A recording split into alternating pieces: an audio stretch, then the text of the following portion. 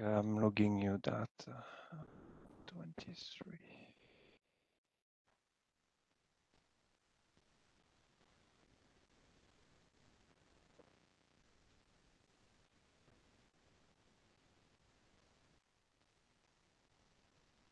It's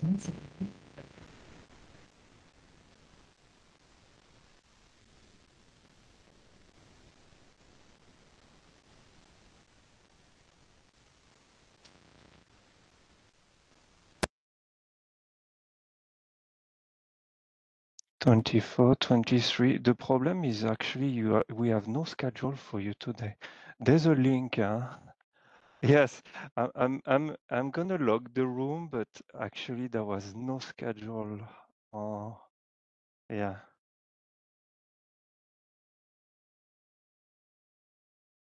Twenty nineteen. Oh, yes, You're the recording, and um, okay, what's up?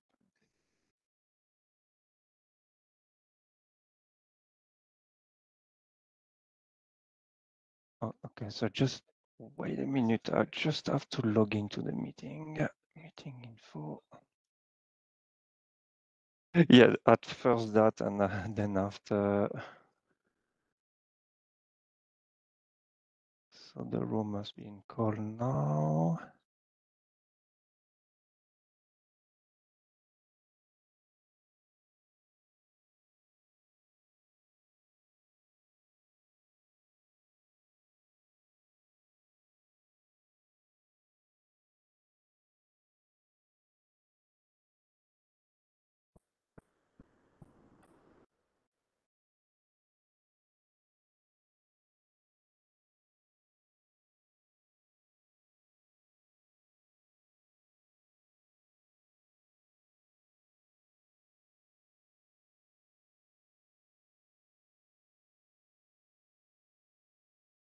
This starting. uh,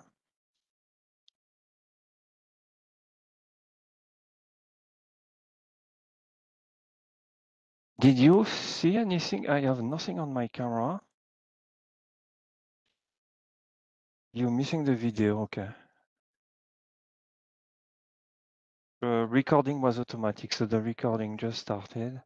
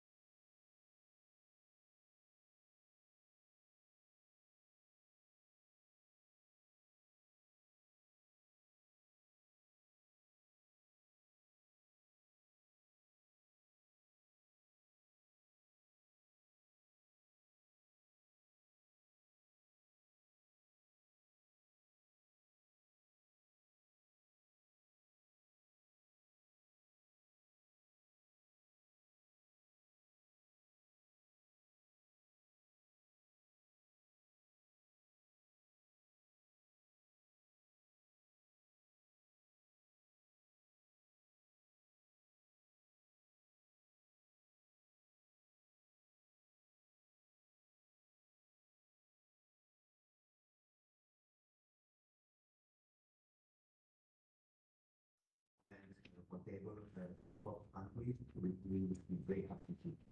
Thank you very much. Thank you very. Uh, Before you. To.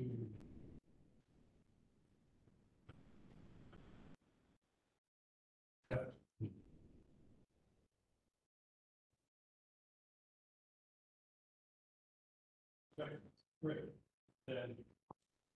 I'll point out, we had a very rich yesterday. Now, just some of the, on this. We, just are combinations the. We have a rich. Global Digital Compact. Patient program. We fact, some, EU, based on the conversations. Secretary of. This was on site and on. This will be included in the. Secretary has also taken note of the improvement. Suggestions related to. Suggested among others, the main three key messages involve broad meaning. Exceptional event introduced the app with six working groups, the uh, intersection work community collaborated on the other, yeah, of the, summary document should be made available. Planning for the idea of program. Planning the idea of program. We also invited nine stakeholders provide updates on the internet. Internet governance process and initiative, among others, the stakeholders share how they make, yeah, messages. Secretary. Also.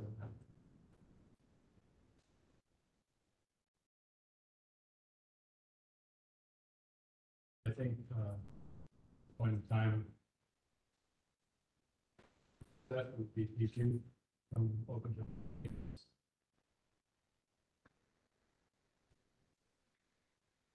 Be taking action points.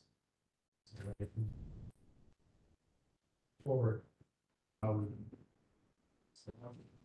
Sessions. Through the workshop.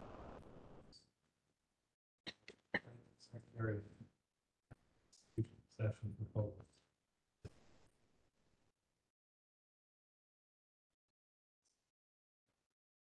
They're not.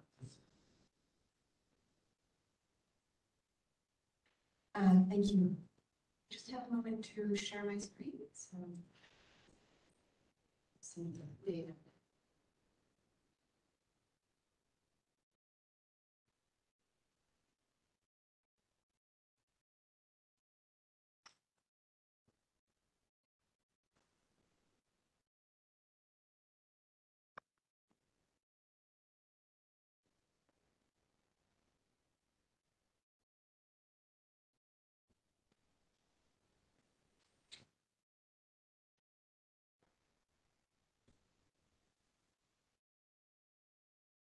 Apologies, there just seems to be an issue displaying.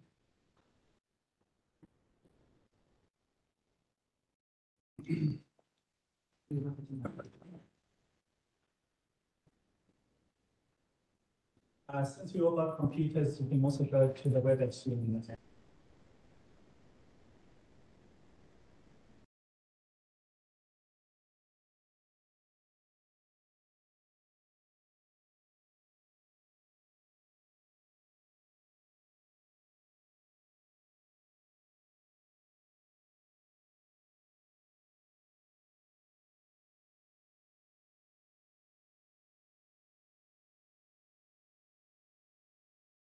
Yeah,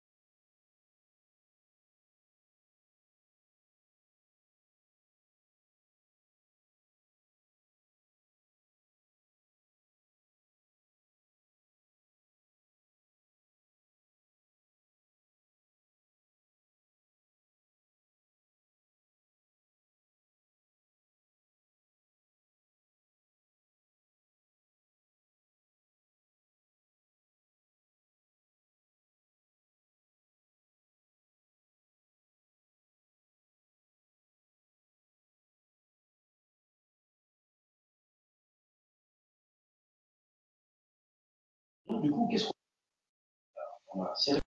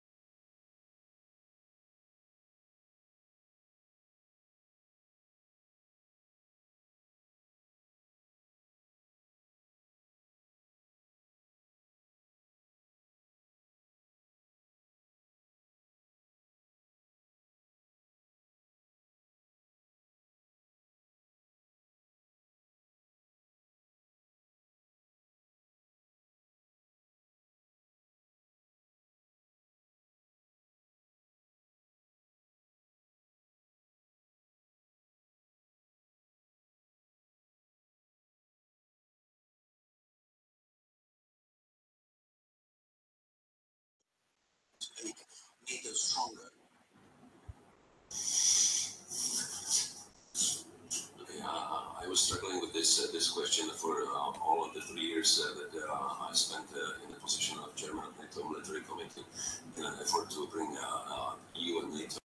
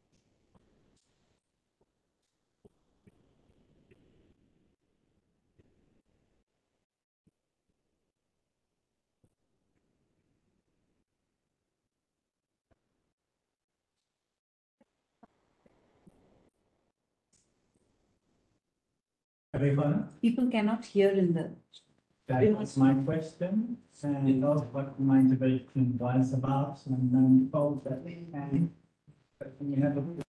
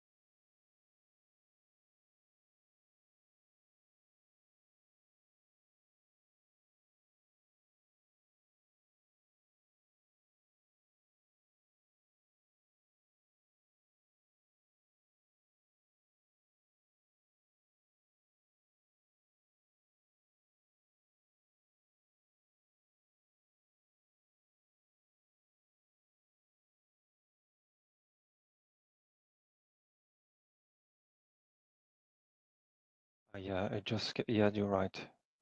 Pindipo, yeah, incor incorrect presentation source.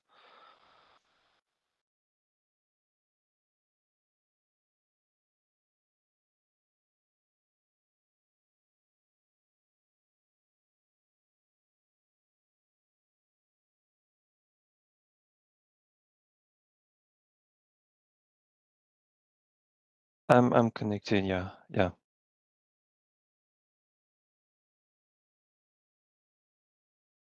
On the WebEx. Did you hear me when I talk? No?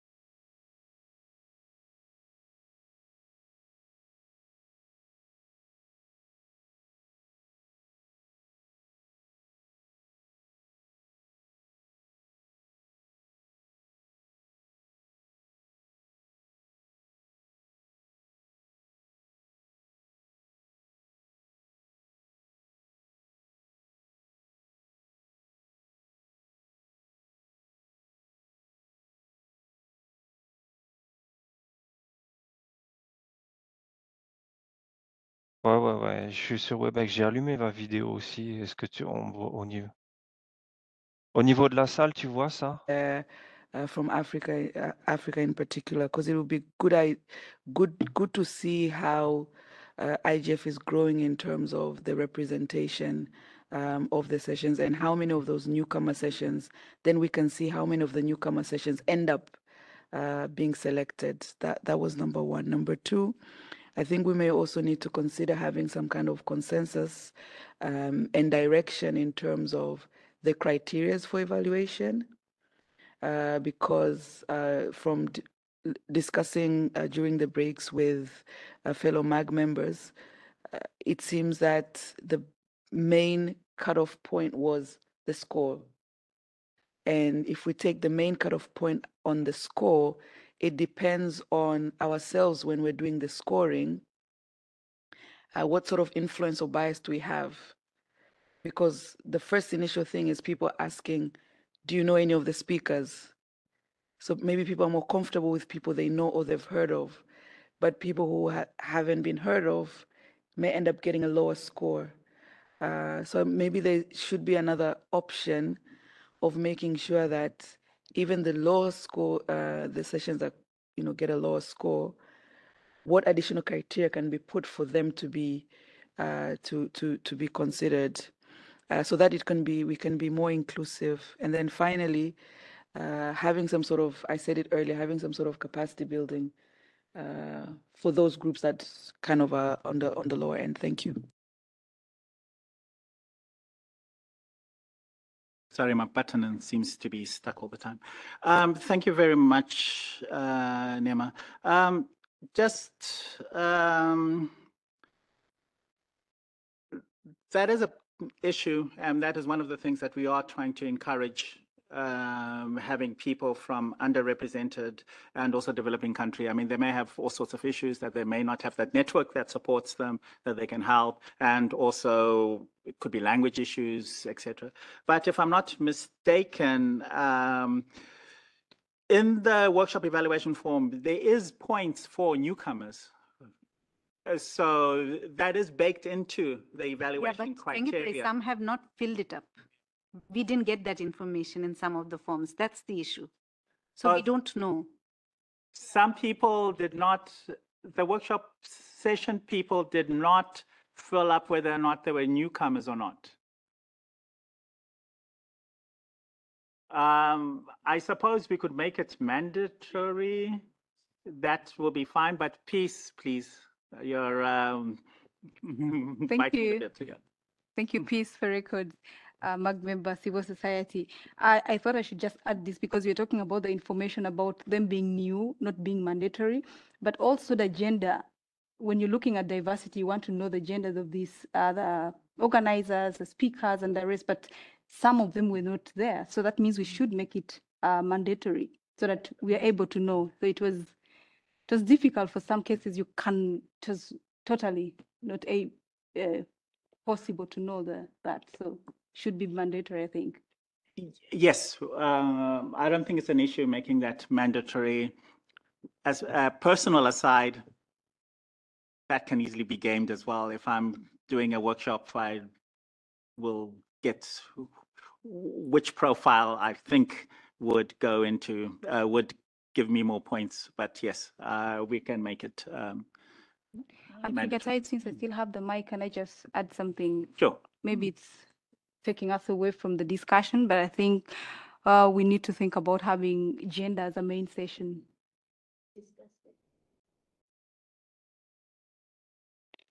Yes, because that was a um, major discussion last meeting, and we are going to be opening up the main session discussion in the afternoon as well. Oh, So that thank can- you. We can um, hold that until then. Uh, Sorry. Bruna. Thank you. Now, just on the gender thing, still, like looking just at the kind of the titles for the sessions, we have more or less three or four gender related sessions, just looking at the titles. And we're back at the issue we were at last year, in which we had two or three tops. And again, at the beginning of the year, we made a compromise of making gender an overarching issue for this year's IGF, um, both gender and the sustainability. So I don't know whether we're gonna look back at the list and revisit them, like, and see whether we can pull like one or two more session suggestions, proposals, um, back to the final list, but I would maybe, maybe suggest that we do it more or less, because just for it's not enough. And going back to the town hall question, um, is it possible for us to double check the list and see if there's there isn't any kind of like overlapping conversation between our provisional final list of approved workshops and the town halls um, one because I, for instance, agree with Adam that um, some need to be like more properly um, evaluated in that sense, and we shouldn't just necessarily go with the the provisional list. And just to put on the record that I also support the main session on gender, as obviously you guys might have been expecting from me. So that's all. Um, se-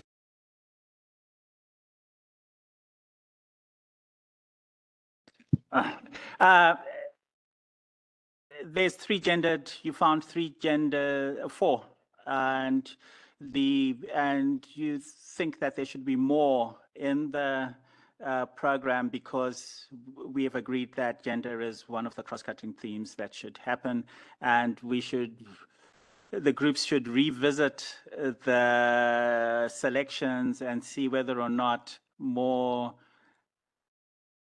workshops with gender as the main um, uh, theme should be put, can be put into the program. Okay, well, that's a MAG decision and the chair's decision. I mean, just referring back to last year's process, we did the same at actually. So yeah. Yeah, um, Chengetai, as in, we would like people to revisit, um, but there has to be some value which the session brings to the table, not because of tokenism, as in that is something which is important. Uh, so let's keep that in mind also. Yeah, I was keeping my um, comments minimal, uh, minimal, and just asking if there's calls from if this is a good idea. You don't think so? What are the points of view?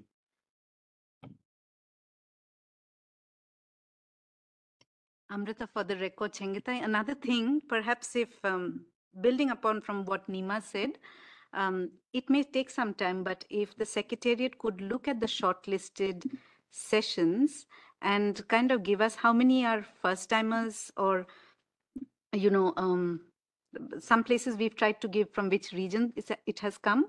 Um, and obviously the gender ones can be highlighted. It'll help people also to reflect back because that uh, since you know we've just uh, shared our 10 11 sessions if that kind of information comes uh, perhaps even for the igf secretariat and mag to go back and to the community and say look we selected these many first time proposals this time. It uh, you know we can uh, i think that analysis those metrics can help us also No, I totally agree with you that we should do some sort of analysis on the selected workshops to see where the spread lies um, on all the metrics, geographical, gender, the whole lot. Uh, the same as we did to the, with the overall. And yes, we can do that. It will not probably be ready this week uh, because we have this whole week, but it'll be ready as soon as possible. It might be ready this week, in fact, but we'll see. No promises. Look at it, they are pretty different because if we are looking at the proposers, if there are three proposers, um, people who are veterans, I would say, have given proposals from three continents. Uh, so it, it's very, you know, uh, you can game the process. Well, yes, that's what I'm saying. That, that uh, the process is can be gamed, and it's difficult to put in uh, those checks that will stop this gaming. But I, I agree with you that um, uh, overall analysis would be a good idea, just to see that the selected workshops are a reflection of the global nature of the IGF and also what we're trying to accomplish. Uh, so yes, the Secretariat will work on that, and as soon as it's ready, we will share it. I've not, I have no idea what the time is and what can be done automated. I mean, the regional and stuff like that, that's automated. I mean, that's a click of a button. It's an SQL query. So just the first timers, if that can help, then you know we can process even now within ourselves. We can kind of see if we can uplift a bit more. Yes, we'll work on it. I think the, I don't know which is, uh, um, Lewis can just look at the problem and also Eleanor and Celine and just to see what format is the best way um, to do it in. Um, but yes, I mean, that can be done. That's, uh, we can, but we still have that proposal that you made and that Bruna made. Do we have any body for or against supporters, distractors. Uh, I mean, it was a proposal that was made to the MAG. Um, what do you think of it? and again, uh, I'll keep quiet now. If I can, Adam. if I can come in on that, because I, that's why I had my flag up was, Yes, yeah. Um, I really don't want to be mansplaining about this. I've been, um, very supportive of having gender as cross-cutting and was in Vienna. Um, uh, and I don't think we emphasized it enough in our proposal process, but that was just my opinion at the time. Um, but just tell us what to do, because I don't, you know, what do you want us to do? Write it down, and then we will follow the lead. But I'm not going to sit here as a rather grey-haired old white man telling you what to do on this issue because I don't think that's appropriate, if that's all right with you. Um, I'd like to go back briefly to town halls and all the discussion about workshops. Uh, sorry to go on about this, but I'm going to anyway. Um, I just had a look at uh, one of the town halls. I recognized it because it was a workshop proposal that in one of the group, one of the groups that I was working on did an evaluation. Their workshop proposal did not get through, unfortunately. It was good, but there you go. Um, they have a town hall which is on the same subject. Why? Why would we let that go through when they've had a workshop that's been through the process on the same people, same topic? And they, I mean, this is the problem here. And I think we can free up some spaces for more workshops or to not free up some spaces. That's fine. You know, or to not free up some spaces so that we don't have a less complicated agenda, but which we all always talk about. But Okay, I have a proposal. Why don't we, uh, between now and three, if that's enough time, uh, we'll distribute the link. Um, you can take a look at it. Uh, we can have a Google Doc in the, uh, this is just a suggestion, please, if you want to refine it, uh, please say it. We can, we can have a Google Doc, which the link will be sent to the MAG private list. Work, um, uh, town halls which you think should not be there, you can just add them. And then we can have a discussion when we come back at three uh, to see what's on it. Would that be okay? Yeah, okay. Bruna. Just on two things town halls um because it's difficult right for us to come in and say i don't think um adam's proposal should come in but looking at the list, I've seen a few in which there is no information about speakers or gender like parity or stakeholder diversity or like suggestions in which there is only the organizing that that's being listed as a speaker. So that might be up for some criteria or like a further look and on the gender thing maybe to get it more concrete as a proposal uh, my suggestion would be for each of the groups um, to take a look at both sub-themes they evaluated and see whether there is at least one proposal we can bring in to kind of a promotion kind of list. So at least one per sub-theme. I think it's it's the minimum kind of compromise we can do for now because I see a lot of discussions on child protection, which is awesome. We need it, but I don't see enough on gender, not even in the human rights one. So that's a little bit concerning for me. So we have one. I know, yes. Um, just to, and I will ask Celine and Eleonora to um, correct me if I'm wrong. The list of town halls that you see there are not accepted in any way. They are just the ones that were not automatically eliminated when the Secretariat went through. So um, it's so eliminating um, this is a wild number. I'm just thinking eliminating 15 of those will not free up 15 slots. Eliminating 15 will maybe not free up any because uh, we wait for the workshops and then we add the rest. I don't know if there's, yeah. So that's just uh, uh, to manage expectations of this thing that we're doing right now. Um, those ones are not automatically taking place. Yeah. Yes. Josephine, for the record, uh, in support of Bruna's uh, point to uh, for groups to go back and review their proposals. But speaking for human rights, uh, we went through the same criteria because we realized that uh, there were none on gender. So we uh, reviewed again. And so we were able to score the ones that we thought did not just tick the gender box, but also contributed value to the to the session. Yes.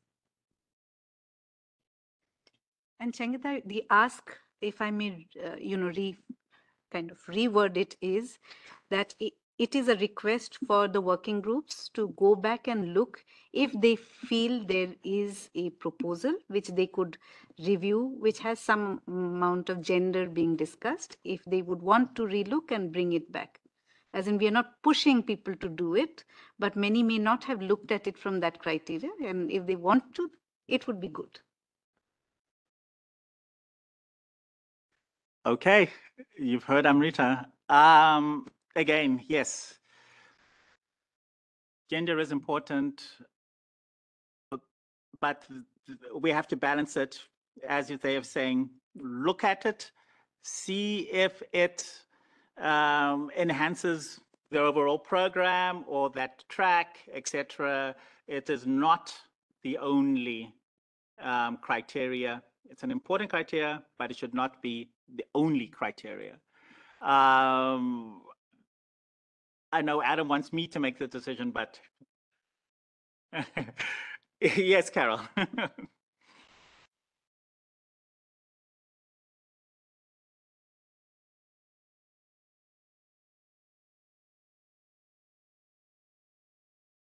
Okay, good, now it's on. Right. So on the form where we are allowed to make recommendations to the proposers, we're wondering if they see those things and how do we ensure that they um, adjust what is required. Um, so for example, the agenda um, issue. So we would want them to revisit the agenda um, sorry, the agenda, as well. There was some, I think, with regards to um, being more diverse in terms of the regions um, that they they selected. So how do we know for sure, or how do we get back to the proposals and say, hey, this is contingent on you doing this? I'm sorry, I, um, I'm going to answer your question even though I may not have fully understood it.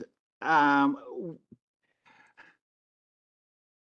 we do have conditional acceptance, right?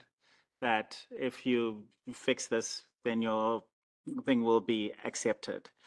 Um, the merits and whether or not it is fair to um, boost other workshops uh, because of this dimension that they have, I, I think that's up to the groups. Uh, um, the groups are the ones that will select the workshops, and um, that's your list. I mean, scores are the guiding.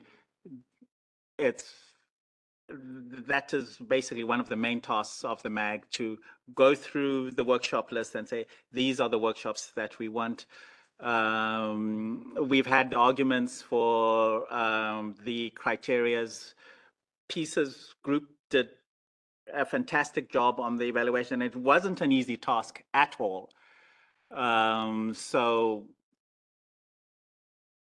yeah yes please You wouldn't like member.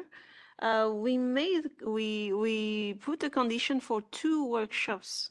So I think if the other groups feel that uh, it's necessary to have uh, to make an improvement for the other workshops, I think it can be done, and uh, it's not really an issue. We would help the organizers to to- and to tell them that uh, these are the conditions that uh, you have to do if you want to be accepted uh, for the workshops. Yeah.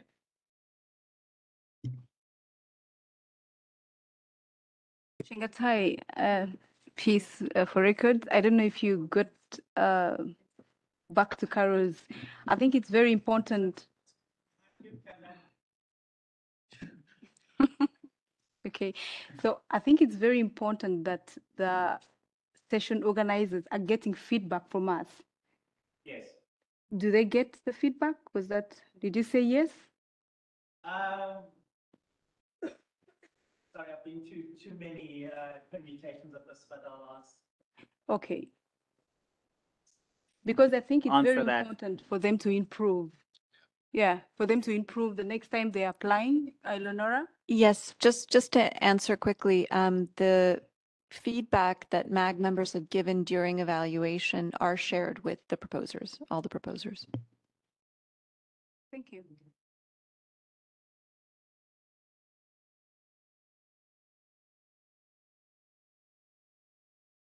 Yes, please. th- how do we know their responses? I mean, or their a- actions towards the feedback? How do we? I mean, are you doing a conditional um, acceptance? Uh, uh, we had 400, um, rounded up, uh, we had 400 submissions. Um, that's why I'm, it's basically the affirmative action debates that we're having here. I don't want to make any, uh, tell you guys what to do. Um, it's up to your individual groups. Um, but if you have a conditional acceptance, I'm just telling you just the format. Uh, if we have a conditional acceptance, if we give them a time limit, they change it, and then we can send it back to you and you can look at it. Or if it's a simple conditional acceptance, the secretariat can take care of it and accept. Uh, that's um, how we do it. Uh, Joyce, you had a. mhm. Is that it? No. Yes. Okay. Yes, yes. Yes, Bruna. Mhm. Just, I think we have two questions on the table, maybe. The first one is whether everybody's gonna look at their lists and see if any other panels can be boosted. Um, I think we have already kind of identified that there is at least three groups with one gender um, approved or pre-approved workshop. I think it's AI, um, divides, and um, human rights. But the rest, they don't have any. Not from reading the the kind of the the title of the session. So there is one question. The second one is whether we want to add um, something provisional to like unconditional to to the to the approval? Like, are we actually asking the organizers to say, can you bring in some gender lenses to this workshop? Is this gonna work? Because I think we have these two questions and we need to decide like which of them are we actually gonna take on. I'm not advocating for any of them specifically, but I think we need to decide. So yeah.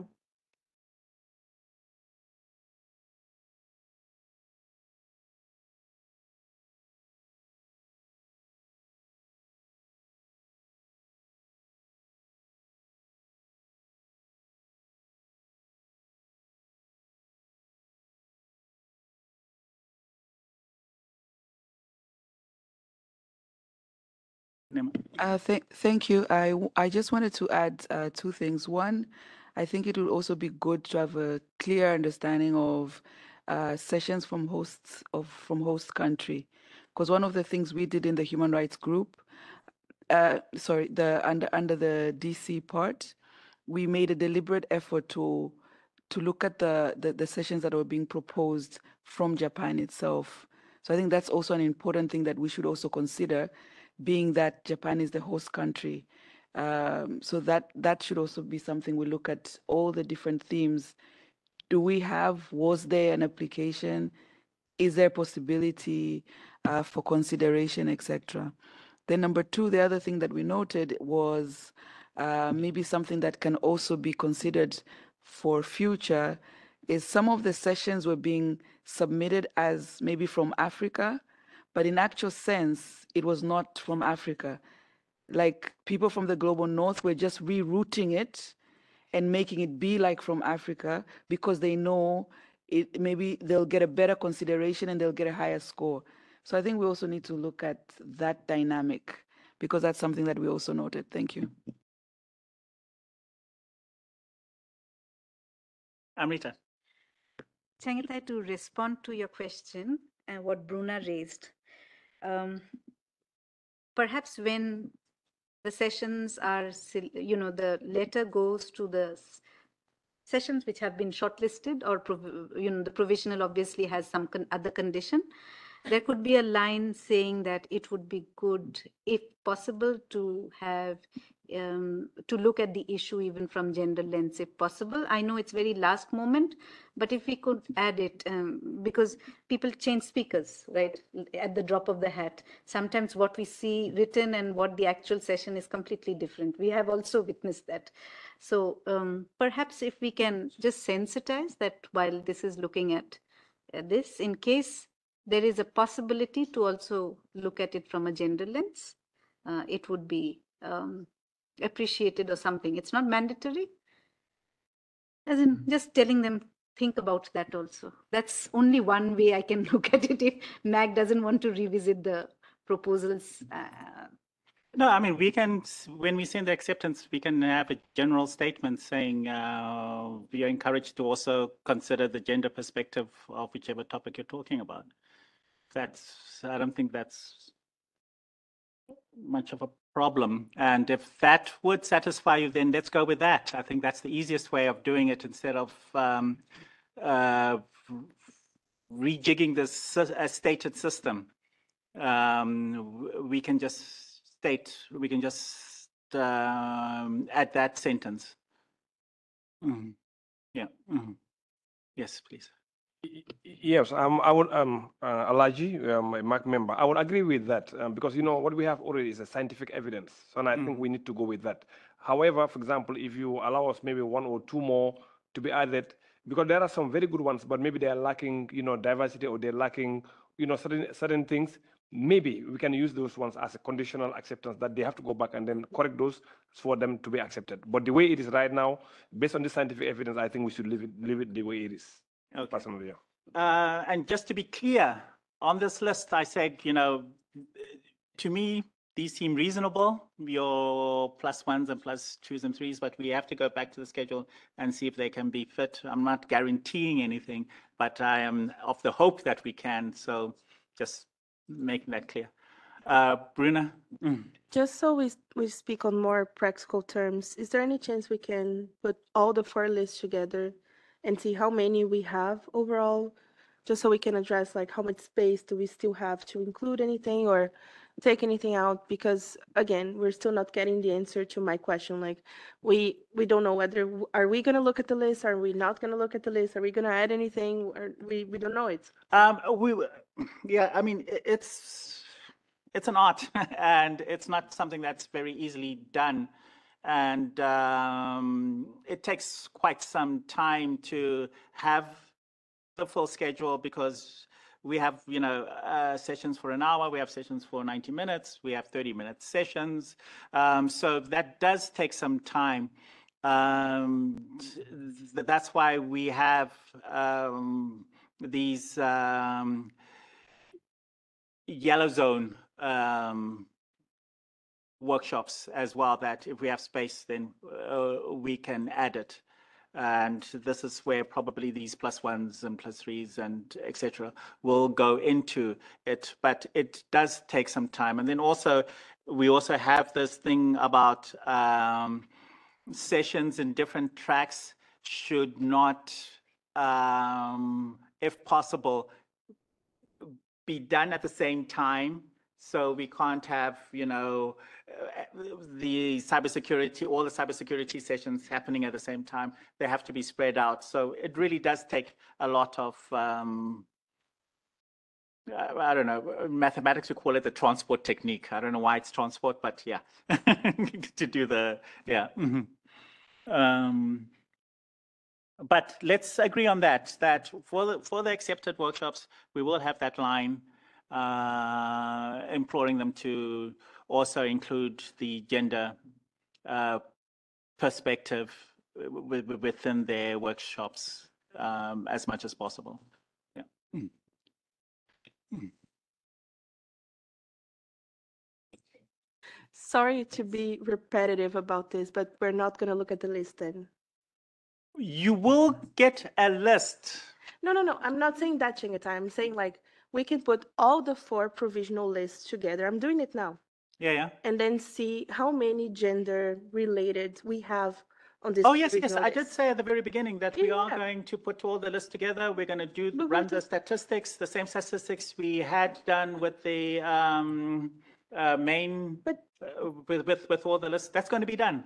I Yeah. just said I didn't know how long it was going to take. I said that it's a database, so it should be easy, but I don't know. But as soon as we've done it, we'll share it.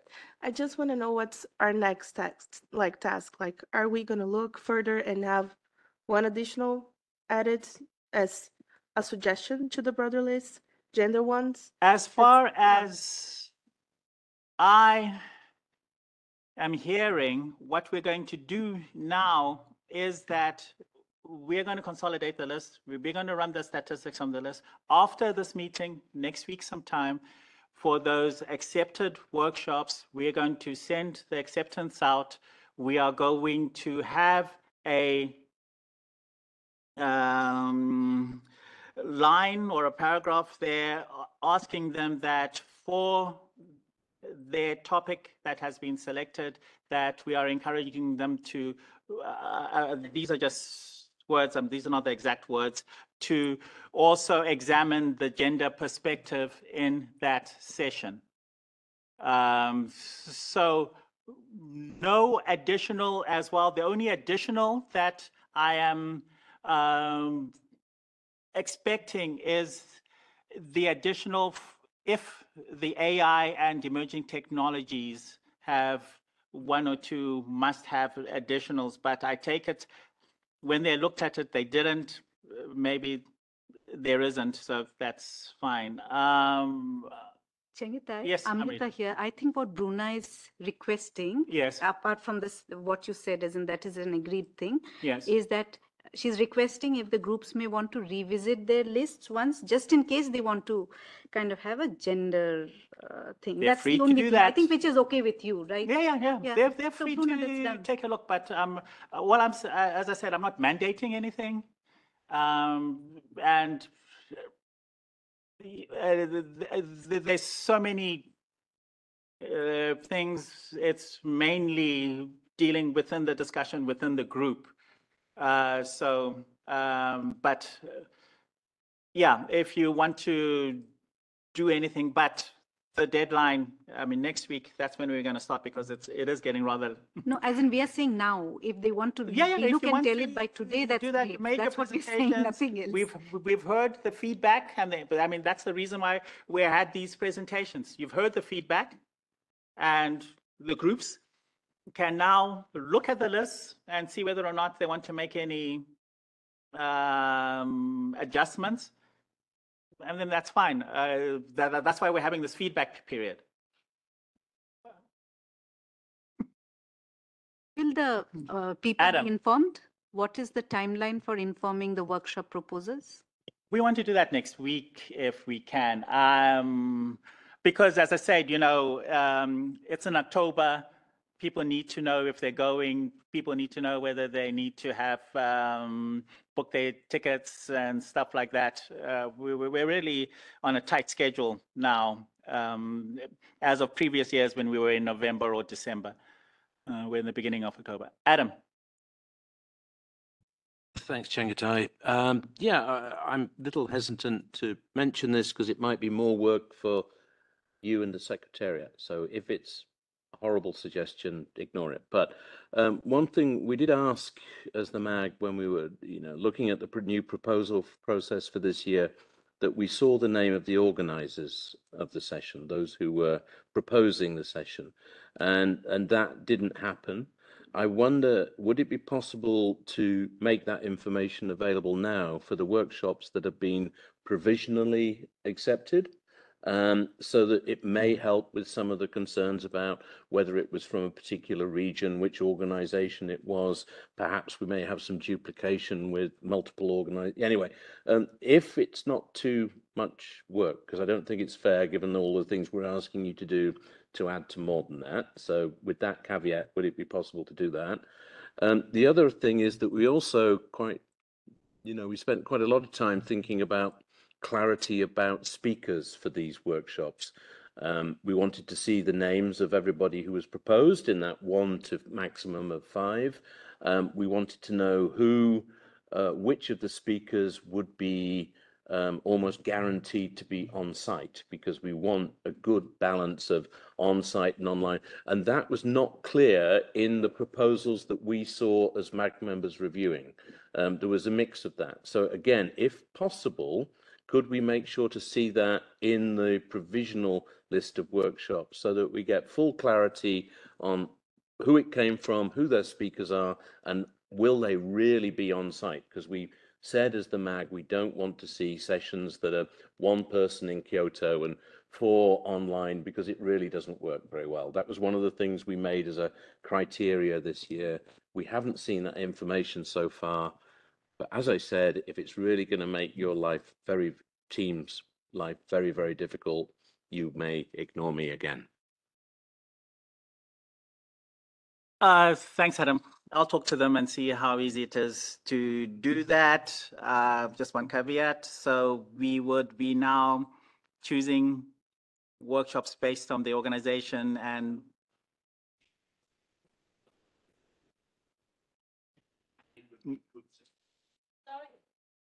Let me just say that again. No, not choosing them based on it, but it would be good to see as it was information we asked for in the first place. And it would help us understand a little bit about the, you know, the, the full sort of array Okay, of um, organizations, okay, we've regions, got- et cetera, et cetera. fortunately, we've got um, six minutes. Um, Peace, you're the leader of the evaluation group. Oh, who is? Adam is from our group. Just to add here, as in, we did try to see whether it was an IGO or etc. Adam in our group uh, and where it was coming from, as in we can know. You can know. I mean, that's the we, we thing. know that part, but in the speaker part, I have a concern because these are aspirational speakers. Exactly, Even now, yeah. it will only be there. We'll come to know towards the end. So this, uh, I understand where he has a concern of who is there, but it's too late in the day to even change it. For example, a organization has 10 from the five groups. How will we change it now? We can't. That's the concern. I and I agree with your concern. We had this concern. the fact that we can't change it doesn't mean I would. I'd like to see it if I can just say that. Yeah, yeah, I will, uh, um, again, five minutes, um, Bruna, I'll be very brief. No, and just to add it to the to the record because I think it's not about targeting organizations or anything of the sort. So it's not an absurd, but it's actually understanding whether or not the names of organizations has have been instrumentalized in the process because we know it happens. We know people reach out to people in the global south or global majority and say, "Can you submit this workshop because I've already submitted three and you have nothing to say. You're you're and it's kind of like adds up to a kind of balance in terms of like who is proposing workshops but it doesn't add up at all to the conversation or igf's diversity. So just to put it on the record for it to be clear it's not targeting organizations but actually worrying about the balance in workshops and so on. Okay, um, I know Suki's got some concerns as well. I mean, one way of doing this is that the secretariat can look at the, the, the things and see if any red flags um, come up. And yes, I have my doubts as well on the on those panelists lists as well because, as um, Amrita said, these are not at all definite, they're aspirational, and it this the the the longer we do um, hold on, the less likely they are to come. But yeah, uh, we'll just talk what's actually possible in the uh, in the amount of time that we have, and um, we'll see. But Suki, please. Thank you, Chengetai. Yes, I, I think it's it's an absurd idea at this point of time. Actually, I mean, this is we are causing a lot of work for to minimize something that is not uh, a huge risk at the moment. I mean, actually, I mean it's it's too much work, and we have to go on with with the planning. I mean, this is something maybe we should also take as a lessons learned for next year, but not to adjust the processes now. Okay, thank you very much. If the chair agrees, we can adjourn until three, and I'll just have a talk with the team, and we'll see what we can do. Um, but yes, um, I think it's important to inform the organizers as soon as possible and they can get into confirming those panelists, uh, booking their tickets, and things like that. Um, there's Marcus always used to say, you know, perfection is the enemy of the good. yeah, and how close to perfection can we get to? Yeah. Mhm.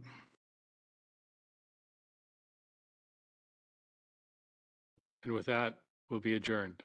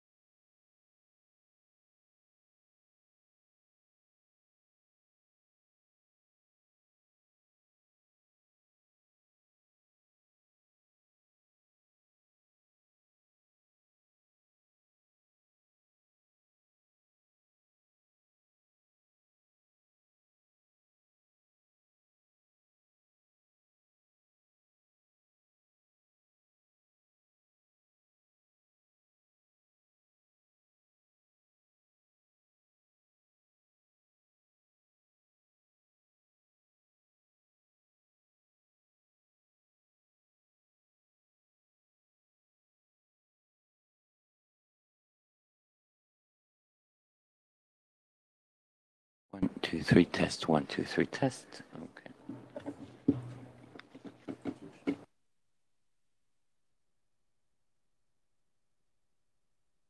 Je te reçois correctement. Est-ce que tu me reçois correctement? Tu m'entends? 1, 2, 3. Est-ce que tu m'entends? 1, 2, 3.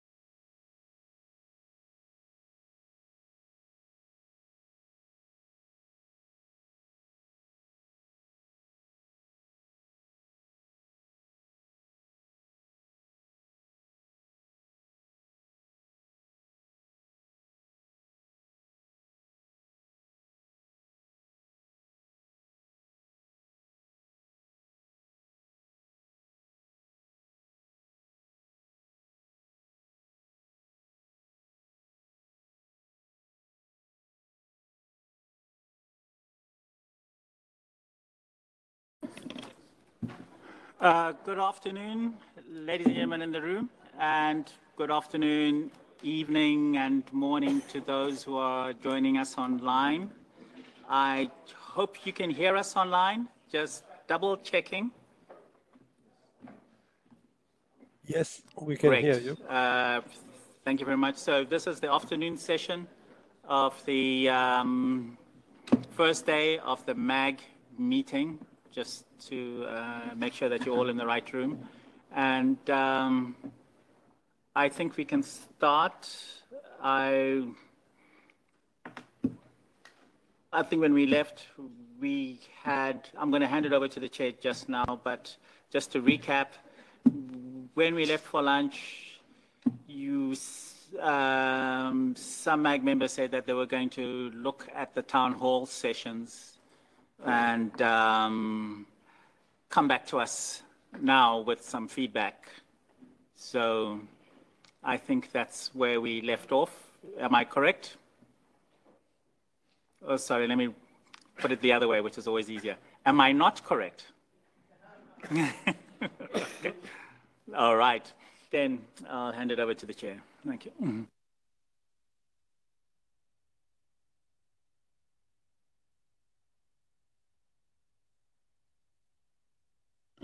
Sorry. Yes, sir. Uh, So we had a lot of good exchange before our extended lunch. And I really appreciate the spirit with which the comments were given. So I would like to make a proposal which goes like this. We adopt the work that has been done for these, fro- through these committees up to this point. That we document deficiencies in the process that we have identified. But that specifically, we do not change the, the work that has been done on, on these um, processes. The reason for this is because we set up the process with clear documentation about what to do and what to expect. The Secretariat team has worked tirelessly to implement that on our side. And everyone who participated in making a proposal had a single set of instructions that was the same as everybody else's relatively to the, the particular topic area. Personally, I am a big fan of more that we can do for gender. But I also am a big fan of equity and fairness in the rest of the process. And so I would ask you to consider my proposal that we not make any further changes and that we retain the sense of the business that was done up to this point. And I, I would like to entertain um, any discussion on my proposal. Rita? Thank you, Paul. Amrita, for the record. Um, just a point, as in, uh, with no disrespect meant for any of the subgroups. Um, I know what our subgroup worked on in terms of proposal, but we, uh, the MAG members, have not got a chance of, of the different subgroups to actually look or even discuss what the, the proposals the other subgroup have chosen. For example, uh, from our subgroup, we may think that we have done the best, but some other subgroup may, uh, people, other MAG members may have some comments about or questions on what we have chosen. And that has been a discussion which has happened in the past also. So perhaps if um, a time at least till the end of the day is given, if, if any MAG members have any questions, etc., on the sessions to come back, and we take it as a final by tomorrow, would that be okay? As in, this is just a request because honestly, I have not gone through the rest of the proposals. I have just seen the names. Um, some other MAG members may have done it, but as in just to give a benefit of doubt to people. I respect whatever has come from the subgroups and I am okay, but just in case uh, we may have some comments or questions on any of them. But I, as I said, this is my personal comment, but I'm okay if the MAG agrees uh, that we go with the entirety.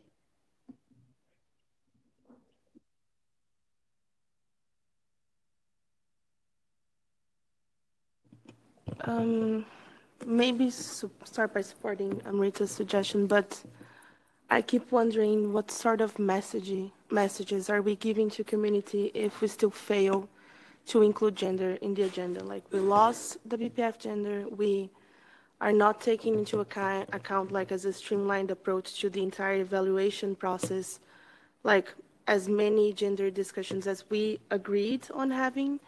And once again, at the beginning of the year, we had a very in-depth conversation of maybe two hours on how we were taking the gender debate as an overarching discussion to the IGF this year because it is relevant. There's a lot of debates that come out of it. And if you discuss things from um, participation in the broader IG processes to AI and biases, it's always kind of more or less attached um, to this question. So I keep asking myself what sort of messages are we sending to the community if we keep on every year coming back with just two or three gender related panels. And but just to say that I support Amrita's suggestion because if we get to take a second look at the list and we see that maybe there is more than just the three that I've identified and like maybe four or three more bring in different intersectional aspects or intersectional discussions on gender and race and other um, relevant discussions, then it's okay. But we don't have we don't have this kind of um,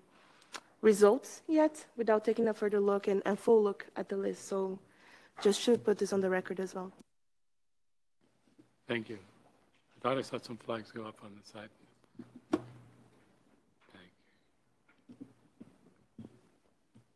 Thanks, Paul. Uh, Chris Buckridge, uh, Technical Community MAG member. Um, I also think Amrita's point is a good one. I think it makes sense to sort of adopt in a, in a tentative way um, the work that's come out of the subgroups with an understanding based not, not only on the gender issue and how we're going to address that, but also based, in, based a little on our discussions about main sessions and town halls. Um, there may be a need in the coming days to sort of revisit and, and think about are we covering all, all the issues that we need to cover. So I, I don't think that would result in major changes to the list of workshops, but it's probably good to keep our options a little bit open there. Um, I think on, on the gender issue, and I'm, I'm, again, just this is just um, more thinking about it in a, in a sort of sense of what we can do based on the situation we're now in. Um, I, I think an idea for a main session that does draw on the gender related elements or aspects of other workshop sessions and put them into a sort of cohesive narrative of you know explaining the relevance and the the importance of gender across all of these issues is is probably the best next step we can do to make sure that it has that sort of importance and prominence in the IGF 2023 agenda. Um, and so, yeah, I, I think that's probably something that we can do in the later discussions today or tomorrow about what those main sessions will look like. Um, but I, I, yeah, I think there is probably also time, as Amrita said as well, for us to um, go back and have a look uh, and, and see if there are any sort of things that were missed in any of these discussions so far, um, where there there is a, a, gender element or a gender aspect to some of these proposals might make sense, and help them into um, the accepted group. Thanks. I'm sorry if I'm drawing away from the current thread. Um, there was a request for the breakdown um, of the selected workshops uh, as far as the statistics were concerned. Uh, we are ready with that, and if you want to hear it, uh, we can call upon Eleonora to just give us a quick summary. It's relevant, so let's hear it. Okay. And we'll also paste it into the um, o- o- online into the WebEx if possible. Yeah, we can, uh, we can also circulate it on the, uh, on the mag list. Uh, So the, um, the high-level takeaway is that the breakdowns for the selected uh, workshops are very much in line with the overall proposer pool. Uh, So in terms of gender, um, more than half, 55%, uh, came from women. Um, Male is uh, 44%, and um, other or non-binary uh, is 1%. Um, Whether um, the proposers were new to the IGF or not, 37% are newcomers, uh, and then the rest, uh, 63%, uh, are not. They've uh, organized at an IGF before. The stakeholder group breakdown is as follows. Uh, 48% are from civil society, 19% are from the private sector, 18% are from the technical community, uh, 9% from intergovernmental organizations, and 6% from government. Uh, The regional breakdowns, uh, again, uh, in line with the overall proposer pool, um, uh, the, uh, the highest number of submissions uh, is still from um, the Western European and others group at 34%, followed by Asia at 23%, uh, Africa at 16%, Latin America and the Caribbean 11%, and uh, 10% are from intergovernmental organizations, and 6% are from Europe. Um, So yeah, apologies if, I'm sorry. Apologies if that uh, rundown was a little quick, but we'll be uh, sharing the data so you can read it over more carefully. Thank you.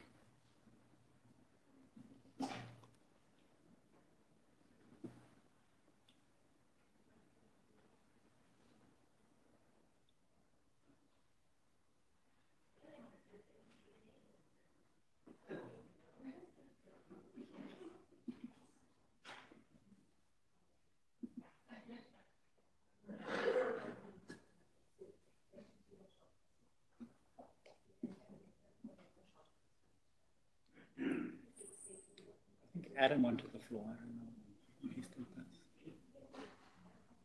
Did you want the floor?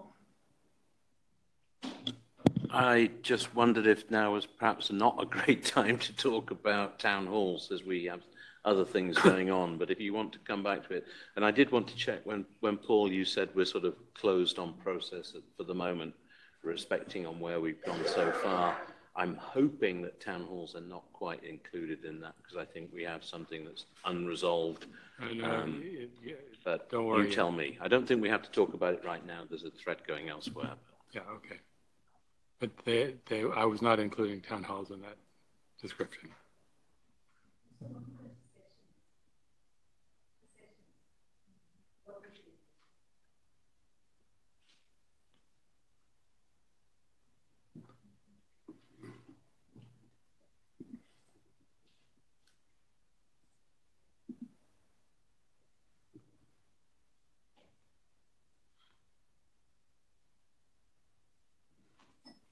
So does anyone else have any commentary or thoughts about what Amrita has proposed?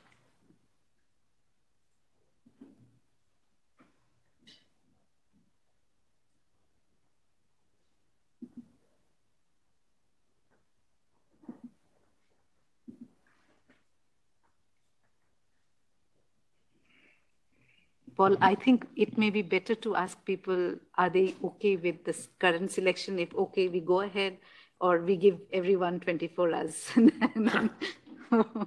and ask them to say, at least raise their hand if everyone's quiet. I'm certainly uh, happy to have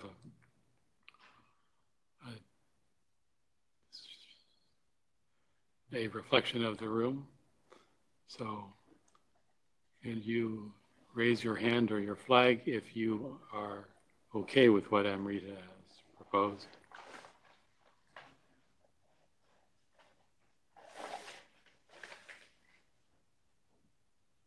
And if you are not,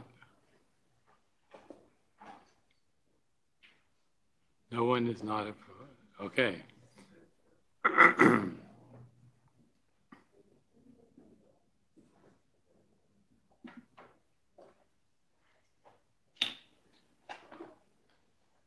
yes. Please take the floor. Sorry, so this is Elisa Heaver for the record.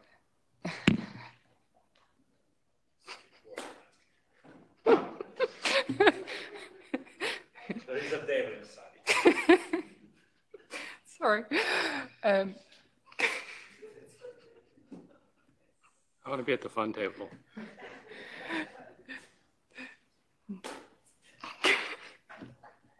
sorry, this is not. Yeah, okay. Okay, so sorry, there, for for everyone else, there was a device like echoing me right in front of me. Um, um, but from this like kind of vote here, I I tend to get that three quarters of the MAG doesn't have an opinion.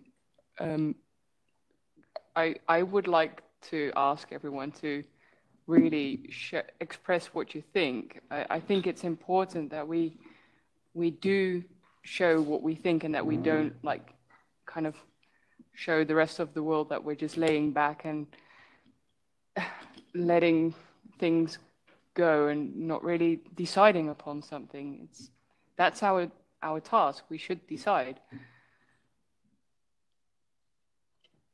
Thank you. I agree with you.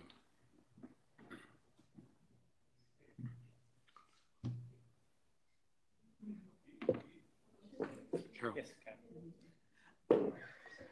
I think, I think some of us are confused because we have two proposals on the floor, I think. Paul said something earlier, and then we had Amrita. But then we were only asked to vote on Amrita. So I think we need to be clear, or more clear, of what it is we're, we're voting for. Okay, that's that's fair.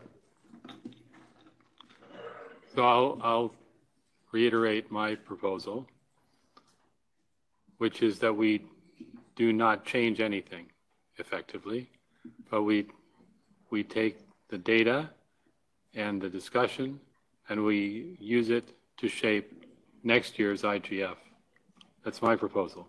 And we move forward with the work that has been done um, on all of these items. And Amrita, I will let you speak for yourself. Because uh, you responded and you now have a label, the Amrita proposal.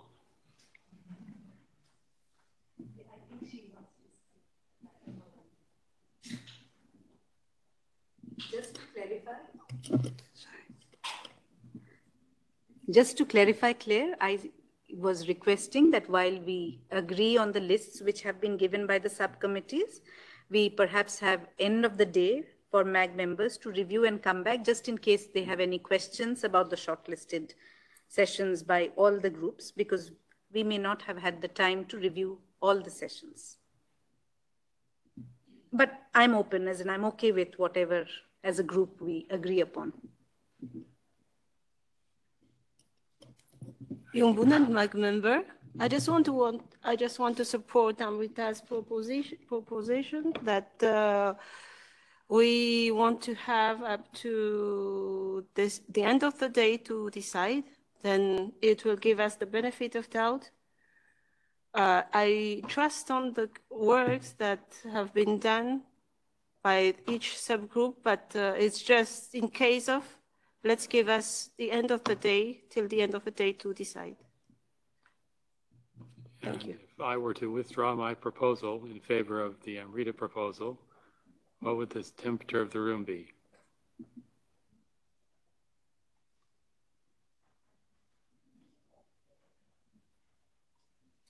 Yes, Justin. Um, thank you and, and good afternoon, everyone, and happy to see you all in person. It Was online for, for much of this, but um, did miss some of the morning conversation. I, I think it does uh, make sense that um, after the working groups have, have, or working groups, groups, whatever it was, have done their work, that there is a consolidated list um, just to provide visibility. And then the MAG probably as a group should then have, you know, the ability to look at that whole list and, and, make any modifications. With that said, I think it should be a fairly high bar uh, to make modifications um, after we've gone through a process of ranking, discussion, proposing, you know, all the work. But I do think that it makes sense to have that, both that visibility and that kind of opportunity for the MAG to make a collective decision. Thanks.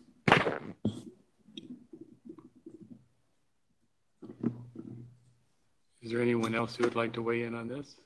Yes. Um, thank you, Neema Lugangira again. Uh, I also agree with the fact that I think it will be beneficial uh, for us as MAG members to just review everything together. And that, that also creates the ownership as a group because we've done them uh, in separate groups and now going through it, having any clarification. So I think it's a good idea. Maybe we can just agree what will be the cutoff time, being mindful that we have limited time. So if it's by end of today, then I think it's something that can be agreeable by most. Thank you. And I'll, I'll call the um, something. Oh, yeah, no, no. Uh, I've got one person, Bruna. Thank you.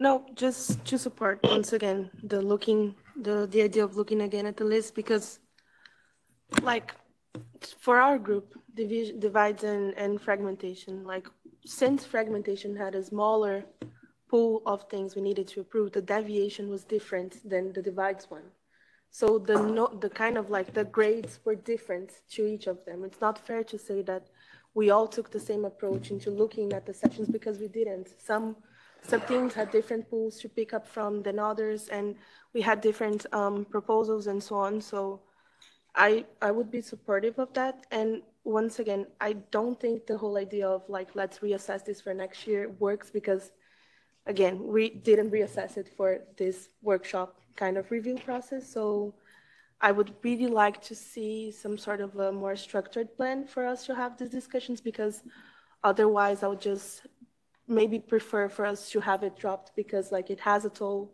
on some big parts of the community. I'm speaking as like a civil society and like a lot of the groups that I talk to have this in, in high regard. So it's again not a really good message that we're sending to the community if we compromise on taking an approach on that and we don't follow through with that. So that's all I'm gonna say for now.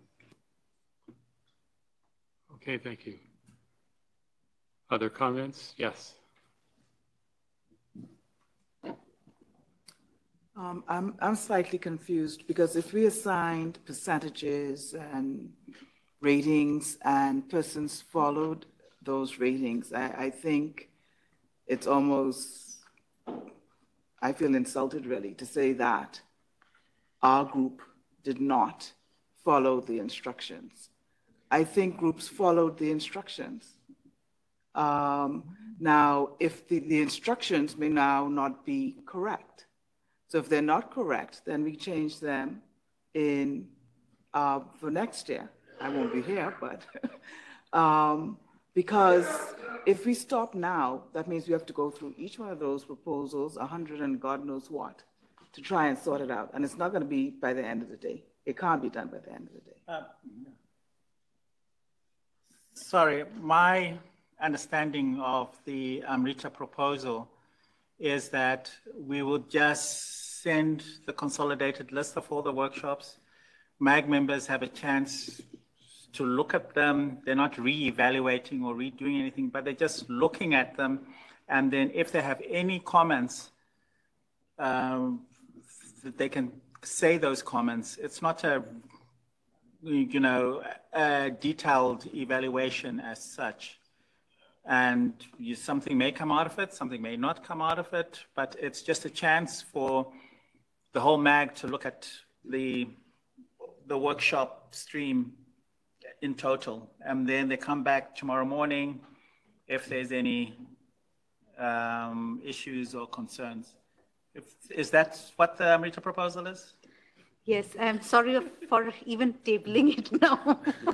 but yes, as in if, if no comments come in by end of the day or before uh, yeah. the night, then it's accepted. If comments come in, then we may deliberate on that.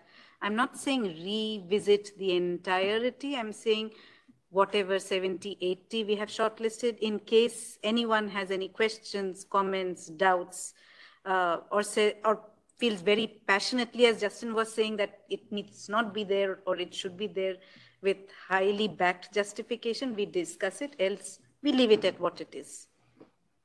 Yeah, that's what I thought. It was just a chance to see the consolidated list and see the spread of workshops and comments if, yeah. So, Yes.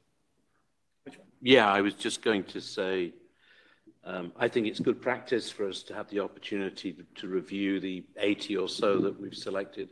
We have been broken into subgroups. Um, as others have said, Neema has said, we, we should have an ownership of this, and that means the opportunity to have a last quick look through them. If there are red flags, something's a problem, as Justin said, then this should be a very high bar to bring it up as a problem, but there may be, and that's the point of having more eyeballs looking at it. But I think it's good process, good practice to do this, um, and um, hopefully we will have no problems, but we'll have done our job uh, a little bit more completely. Yeah, So, good and- suggestion. Thank you, Amrita. Yes, please. I'm getting a. No, thank you. After, Uh, off lunch brain. It's okay. Um, I, I, I was I was gonna say that maybe since we're also talking about the, the lesson, lessons going forward, um, perhaps maybe for 2024, the, the idea should be um, by the time we're gathering here, we have the list, uh, I think, already circulated, so that then this conversation is more fruitful and also the agenda is very clear because now we're, we're tapping into um, our, our planned agenda. So maybe just as a matter of improvement going forward uh, for 2024. Thank you. Thank you. At this point, I'd like to ask if we would be all happy with the Amrita proposal. Is there anyone would object to that proposal? Going once, going twice, going three times and gone. So we will adopt the Amrita proposal.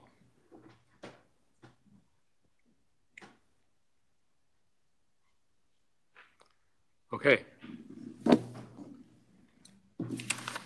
moving on. Yes. Where are we now? We are, is it main sessions No. We're at main- we're- I think we're at main session. No, planning main sessions. This is where we are. Mhm.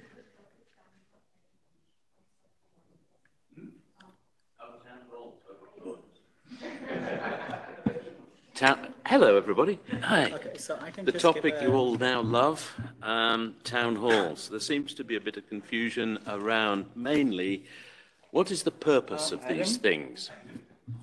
Uh, can you hear me? Are you wanting me to Oh, speak? no, we're just wondering why you're speaking. You, you, you want me? You want me to leave the room? I mean, I'll, I'm in your hands, Uh, Jack. No, no. uh, Oh, yeah, because I was discussing with the chair and then I just heard a voice. No, sorry, I was being chaired by Amrita, so I, it's all over the place in, in my life. Oh. Tell me what to do. Shut up is fine. Yeah.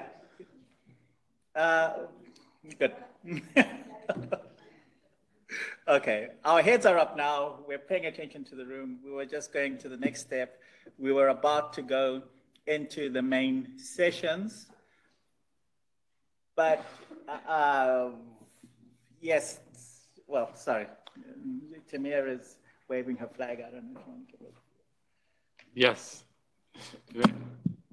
Thank you. I just wondered if I might have a, uh, know I'm not a MAG member, so if it's okay to take the floor for a second to comment on the workshop process now that the MAG has finished the deliberations? Is, is that okay, or am I jumping the agenda? You're jumping the agenda, but I think it's okay if you're short.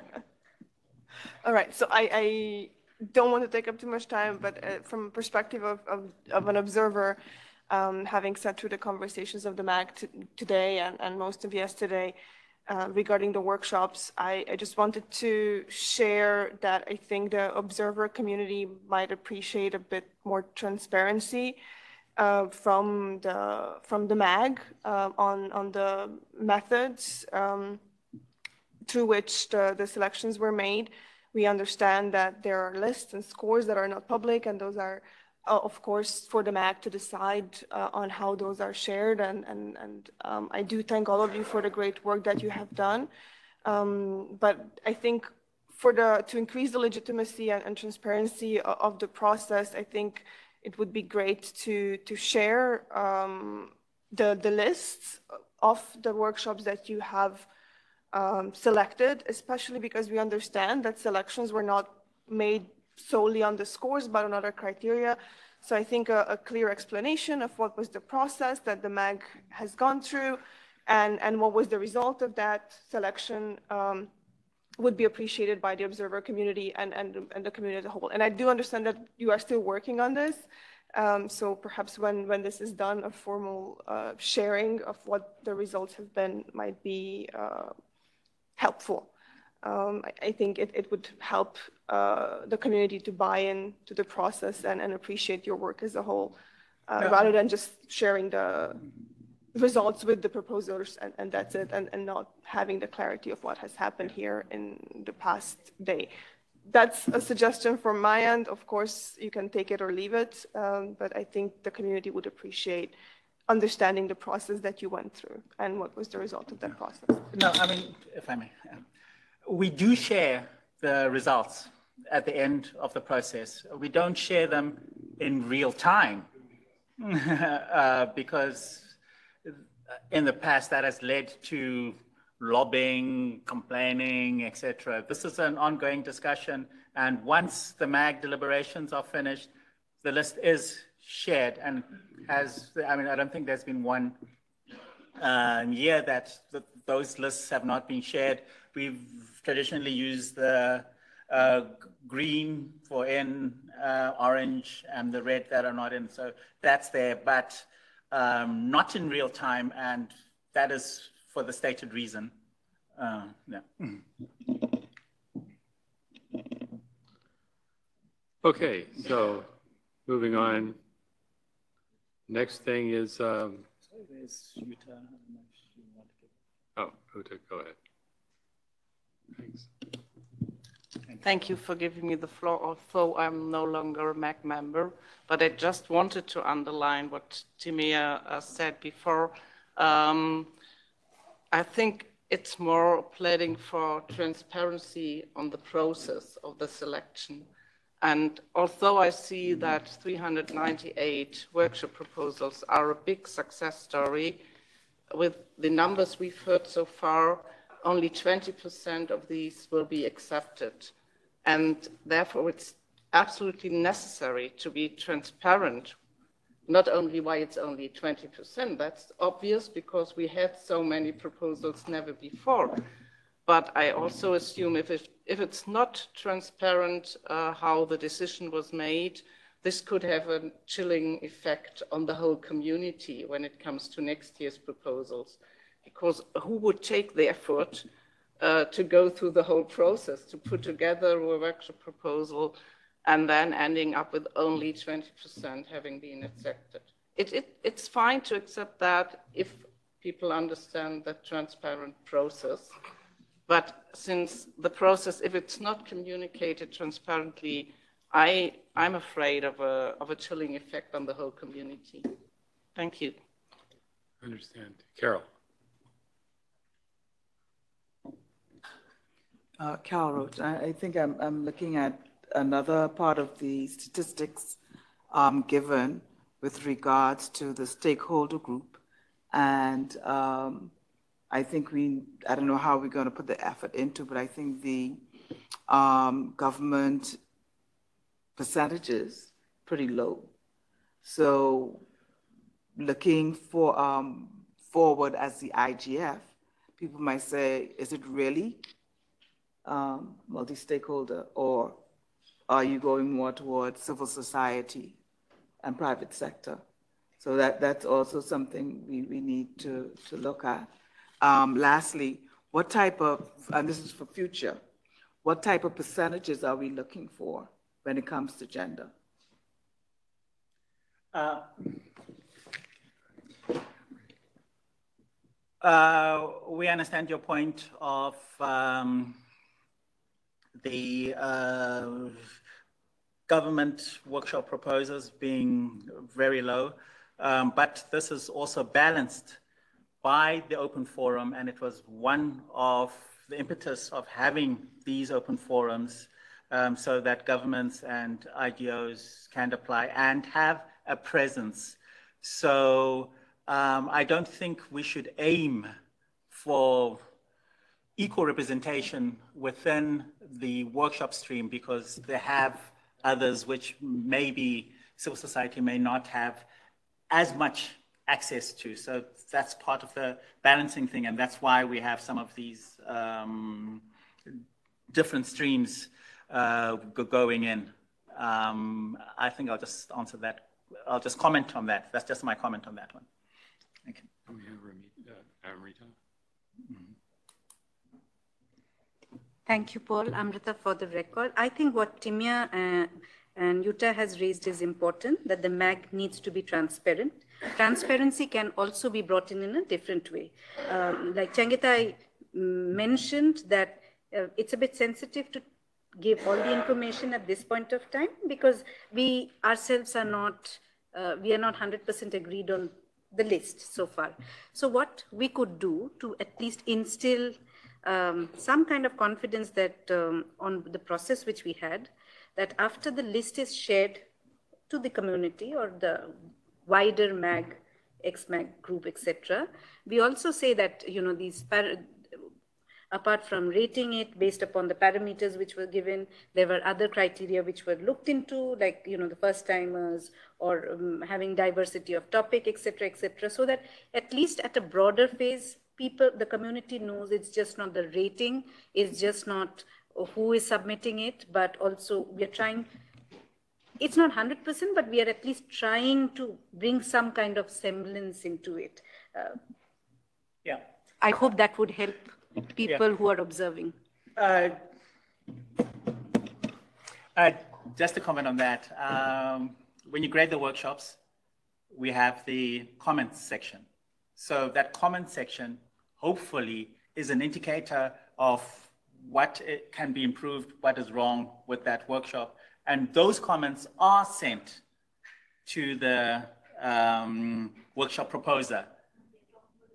No, they are talking about the community knowing, for example, even they knowing what process. So I'm saying when we, if it's the entire MAG list, I think Timea is saying that as an observer, they need to know what process we followed.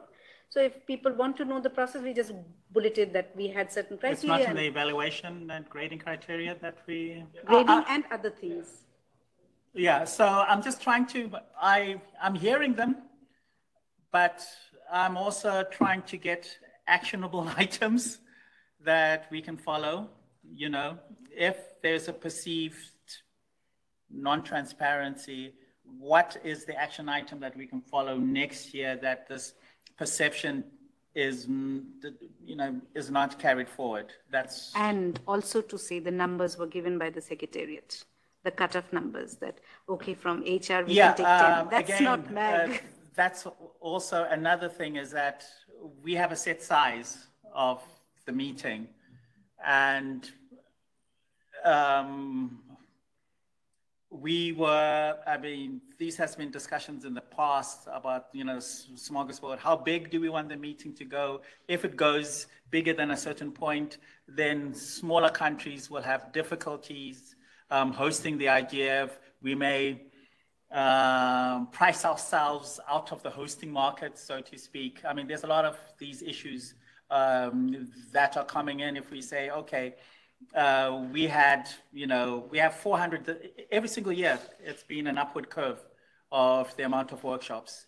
Um, and we cannot have an increase in the size of the meeting to accommodate the workshop. So maybe one way of doing it is to rethink the way that we do workshops. Um, I mean, there's lots of proposals that have been banded out there. Instead of having a call for workshop proposals, we have um, committees going around the themes, and those themes then do the workshops that. So it's not a call, for instance. Uh, am I getting, I don't know if you're understanding what I'm saying.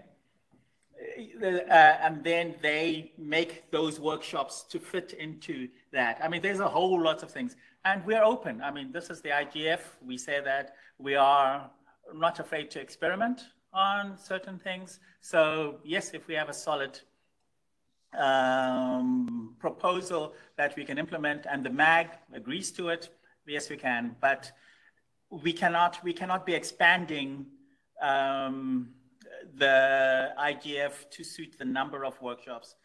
There's something else that we have to do. Mm.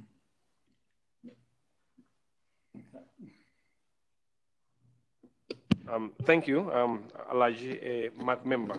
Um, uh, I, I, think, um, what you have um, said actually is, is perfectly correct. Um, what happened is as we continue to, to, to be engaged in MAG, we need to continuously also learn what actually has worked and what actually has not worked. Now, in terms of the transparency, you know, um, you know, we are we are guided by certain criteria like diversity, um, uh, um, uh, policy questions, hybrid, whatever it is. Now, perhaps in the system, maybe if you can do it in such a way that if you if you rank a particular area like hybrid very low, maybe the person who's actually doing the review must be forced to indicate why. For example, for me, whenever I rank you, for example, diversity very low, I'll indicate the reason why. So at the end of the day, once you pull up the results, if my workshop is not taking, then I should be able to know why did my workshop not, not, not was not taking. Because if you look at it right now, in the Excel sheet, you will see that somebody may have scored 4.1, but the workshop actually is not accepted. And 4.1 actually is really very high. So perhaps that person needs to know exactly why was my workshop not accepted. So I think that could be helpful in the system itself, the way we, we do the grading. If you score very low, the person should be able to indicate why am I rating you very low. And that is for, for to increase transparency. Not like you are 4.1, um, somebody get 4.2, so oh, so the difference is too too low. So so for the sake of transparency, I think we need to be able to uh, make the system work in such a way that once you score something very low, the person scoring should be able to tell why I should have a score low, so that the feedback would be really very good for the individual who has done the workshop. So, from what you're saying, the actionable item is that for the workshop evaluation, when you, uh, MAG members should be said, if you score 4.1 or below, the MAG member who scores that workshop should write down the exact reasons in the comments section, which we have, but yeah. Yes, but we should underline that that is part of the duties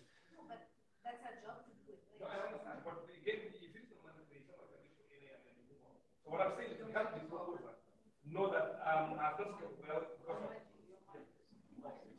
um, it's just to, to help the proposer. Uh, you know, when you talk about trans transparency, again, you know, you want to make sure that everything is actually very clear because the secretariat actually has nothing to do with the, the you know, the, the, the grading of the workshops. So it's us that actually does the grading. So when we, when we score something low, I think it's upon us to also state why actually have I done this. And that's going to help the secretariat when they pull the results and somebody wants to get a feedback from the secretary, why was my workshop not actually accepted? Because of I got four or 3.95, whatever it is out of five. So, so that's just, just to help in the, in the transparency of the, of the work that we do. Okay. Uh, yeah, I could. yes. Okay. Yeah. Yes. Uh, there's Teresa and Bruna. Um, I would take Teresa first because she hasn't spoken. She's online. Teresa? Mm -hmm. Yes, uh, thanks uh, everybody. I'm sorry I'm not with you in Geneva today. Um, I think there are two sides uh, of uh, this discussion on transparency. One is uh, towards the outside, how transparent we should and can be. And one is uh, how to possibly streamline the internal process we have at the MAG. I hear what Timea was asking for. at the same time, uh, I also think that the reason why we as MAG members were selected was that uh, there is also some level of discretion uh, that we um, that we have uh, in these terms of what proposals uh, make it in the end. Uh, I do think that there has been um, kind of almost a sufficient level of transparency in what are the factors of evaluation, how we look at it, why, for instance, aspects such as the hybrid format of the sessions are important. But I don't think that we should go that far, uh, such as like disclosing in detail what are exactly the, the percentage points um, um, uh, across uh, the various um, evaluation lines. At the same time, uh, MAG meetings are also open uh, to the community. So uh, in this sense, like how much more transparent can it be? And the only thing that is not transparent to the community is um, like our internal deliberations we have in the private list or in meetings uh, where we kind of try to compare notes with each other and sometimes change our opinions. Um, uh, I also disagree uh, that the fact that the IGF is competitive uh, and uh, only 20% of proposals make it will discourage people uh, to submit more proposals. I think we have experience also from other policy spaces such as RightsCon that uh, you know are very competitive as well, and um, uh, kind of the interest of the community to try to make it um, hasn't been like suffering. And uh, it's a better problem to have uh, than having a situation uh, where low quality proposals only in small numbers would be submitted because it would compromise the quality of the uh, of the whole event. When it comes to the internal uh, processes of course uh, some things can be improved.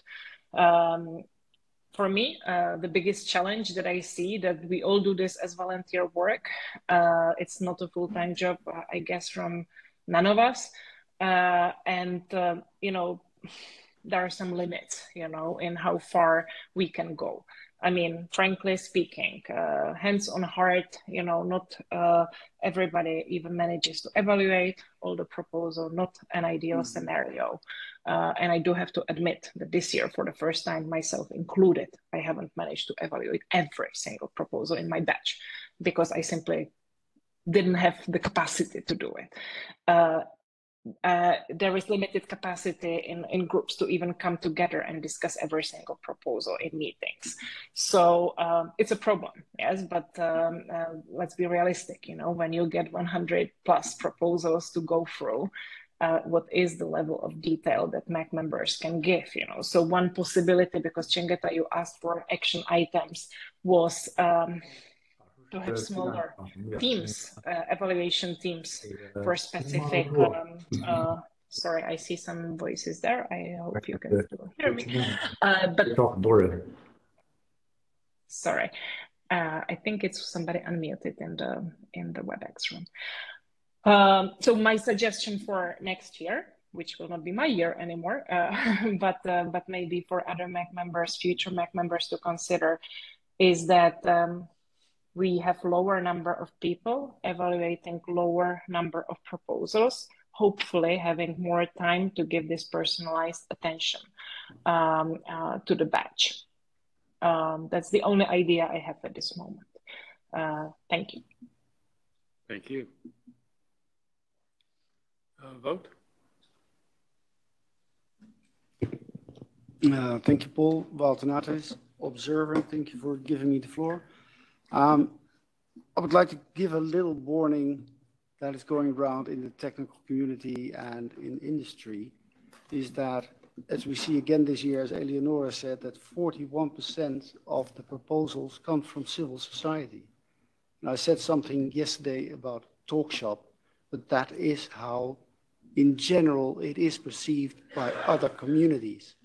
And I know that doesn't sound pleasant to hear, but they are dropping away and they've been dropping away for years. We even see less government representation, I think, at the IGF, if I'm correct, since COVID. So if we want to bring these organizations back in the panels, in the discussions, then you need to reflect on their representative in being present in proposals. And yes, open fora were created for governments. I totally agree to that, but not for other communities. And they are sharing this message with me and slowly dropping away through the years. And should the MAG not take that into consideration when scoring the proposals? But that's just an observation. Thank you. Thank you. Adam. Hi. Um, going back to Adam, speaking Adam P, going back to Timea and, and to Jutta's comments about transparency, just speaking personally, I'd be more than happy to have the Excel sheet, which was the compilation of all workshops and how they were ranked shared. Um, but that should only be done with the a few additional documents attached. For example, the Secretariat gave us a very helpful guideline and suggesting um, the allocation by subgroup, um, the number of workshops that might be allocated, that we, we suggested there should be 80 workshops, and noting that there was a lot of discussion and re-evaluation in person here, which is what we always do. So that when somebody sees that perhaps they were ranked 81 and somebody was ranked 150 and 150 gets in and 81 doesn't, to understand that that initial Excel sheet reflected the first work of MAG members as individuals, not working in teams. So that was an initial review. And it's fair to share that. It does have comments with it. It should have comments with it. I see no reason for not sharing it so long as people understand that this is not going to, you know, don't blame us for doing more work in person, because that's what we've been doing in all the gaps and sessions right now. I know people will be upset. They'll say, why am I suddenly out when I looked like I was in and all that? The reason why is because member, members discussed in person and reevaluated. This was an initial take. But I know these things have been shared in the past. I'm personally comfortable with it. I'm not suggesting everybody else should be comfortable with it, and I don't think we should have a vote on this as Adam's bad proposal, just to make that clear. Um, but I just wanted to get that on the record. I'm perfectly happy with it. Certain caveats, certain additional information. It has been shared before. I'm not sure how helpful it is, except it gives you something to grumble about. Um, but yeah, um, just to just to say that. Um, yeah, good luck next year, guys. Thank you. Abdul? Um, thank you, Abdurrahman, uh, MAG member. Um, it, it is interesting statistics that we hear about uh, the soon be called successful proposal uh, in terms of percentage wise, but I think it is important to see the input statistic as well. For example, for government, if, 6% make it, we want to understand how much from multi-stakeholder that we have, how much the input is coming from the government, from other stakeholders. I think that will give us, the two numbers together will give us more idea about if, if we have one stakeholder uh, is, is dropping interest in, in, in, submitting proposal, and thus we need to put uh, action in place to, to, to make it. The other thing that what I noticed through through evaluating the proposals there is a different maturity of proposals. And, and there is always an advantage for the people who been through the process, and provide previous uh, workshops at IGF. And I think there is a need for a guideline for the newcomers. Just make sure that we, we draft a guideline from their perspective, how, how they write the proposal to the maximum level uh, of, of, of success if, if the content is right. And again, this is a competitive process, uh, and I think uh, yeah, 20% is, is, is, is, a good indicator that uh, this is this is a very competitive uh, process. And again, I, I, agree with with, with Adam and, and, the rest of the team about transparency and if we can share with the community what we can share. Thank you. Thank you. Thank you. Bruna. Thank you. I don't understand. I mean, I think there's a lot to discuss and unpack about this, but I, I don't really think that this is probably the appropriate moment. I think we should be having a more in-depth discussion on main sessions or what we're going to do with town halls.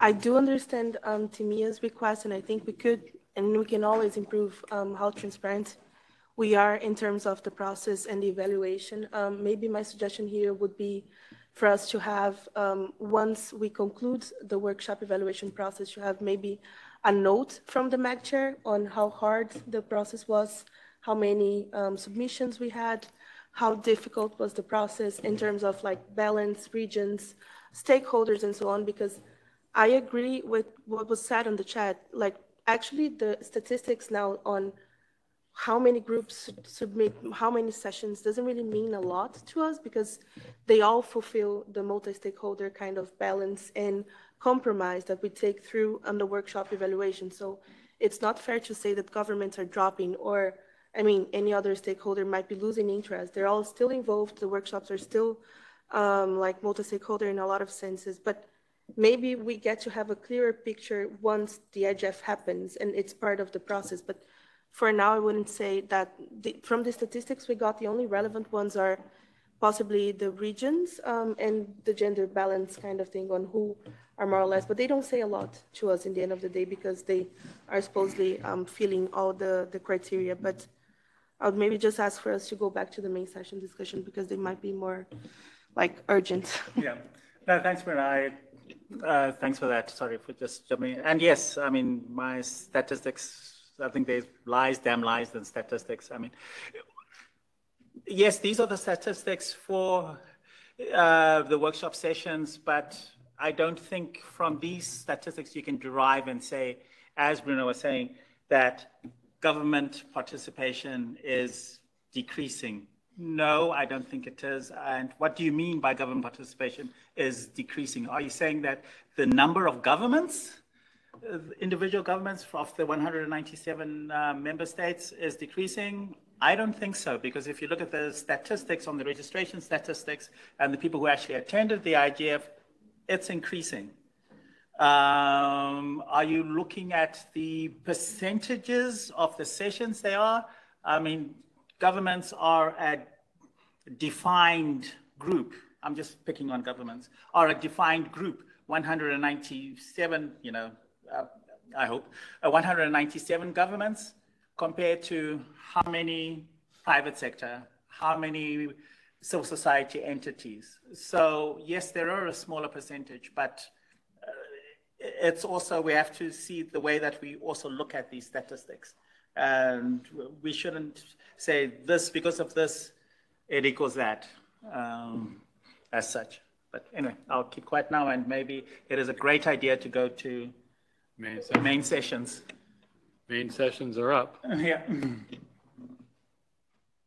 Sorry, I just wanted to quickly clarify that um, in terms of government participation, oftentimes uh, governments, as governments, may not necessarily um, apply for sessions, but they attend high-level sessions and they're speakers in several other sessions, including civil society, etc., etc. Mm. So I think it's it's it's not a just uh, comment to state that government is reducing because rarely would they apply for sessions. Thank you. And just also to say a word about civil society. Yes, they're the majority, but how many civil society people are there, you know? so, of course, they should be the biggest uh, bunch, but uh, those are the things that we have to juggle.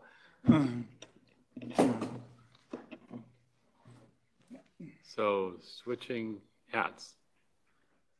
Put your put your main session hat on, and uh, who would like to go first? Bruna, welcome to main sessions. Happy to join.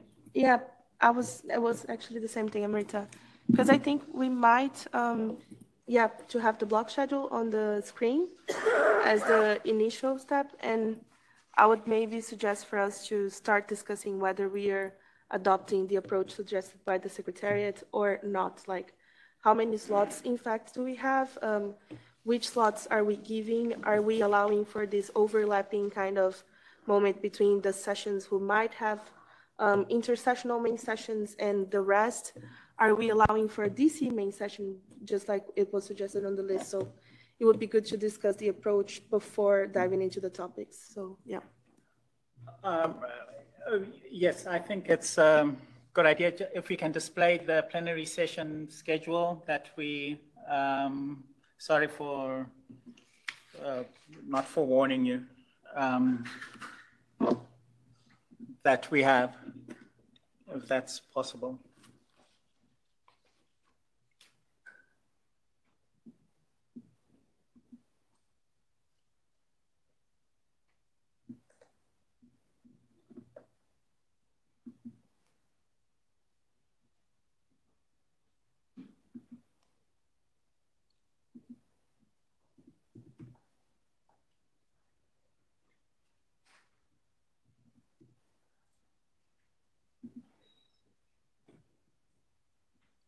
Um, so I did send out to the MAG the draft plenary room um, schedule. It's an Excel file and it has the ah, not the ah proposed spread of the um, main sessions. Um, if we can get it up. Uh, Lewis, is it possible to put it up there? Oh, it's there. Great. Um, so there's the day zero high level sessions that we have. Uh, these are just placeholders, by the way. It doesn't mean that understanding data free flow with trust is going to happen on that day. Uh, we're going to switch them around depending on once we talk to the panelists and get their thing, we're going to switch this around a bit. But it does give us an overview of these slots. So for the uh, main sessions, there's five main session slots of 90 minutes each, plus the main session slots for the policy networks and the um, best practice forum, also the NRI main session. And um, there's one more session I think I'm missing out. Um, yeah, the DC main session. I don't see where it is now. It's there somewhere. Um, and of course, we have the parliamentary uh, roundtable, which is the capstone session for the parliamentary track. Uh, this year, we have this uh, session with the uh, Maria Ressa, who's the leadership panel um, member, and also uh, I think she won the Nobel Peace Prize in 2021 and also the former um, Prime Minister of New Zealand. Uh, um, this is going to be focusing on the Christchurch. Um, I'm just looking at them to correct me if I misspeak. Um, uh, proposal. Um, so that's the start, and that's what we have um, at the present moment in time. And yes, these can be switched around, but at the moment, we can't grow or add uh, this uh, sets up the room. So this is forms the basis of our discussion. So we can, I don't know if you want to start. Yes. Uh, thank you, Oda SMAG member. Um, I wanted to speak about uh, the scheduling, uh, specifically for the policy network on artificial intelligence um, that was scheduled um, on the last day um, in the afternoon. And as we know that many people uh, might have flights or might be outgoing, uh, so if they can be rescheduling to accommodate into an earlier date where um, there might be people present, and this this uh, topic is very keen uh, to many people. Um, yeah. Sorry. Yeah and last year it was on the last day.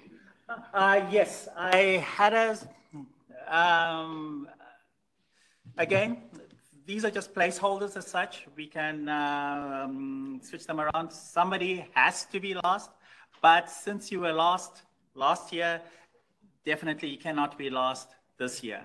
Uh, we have to keep it a bit fair in some manner, yes.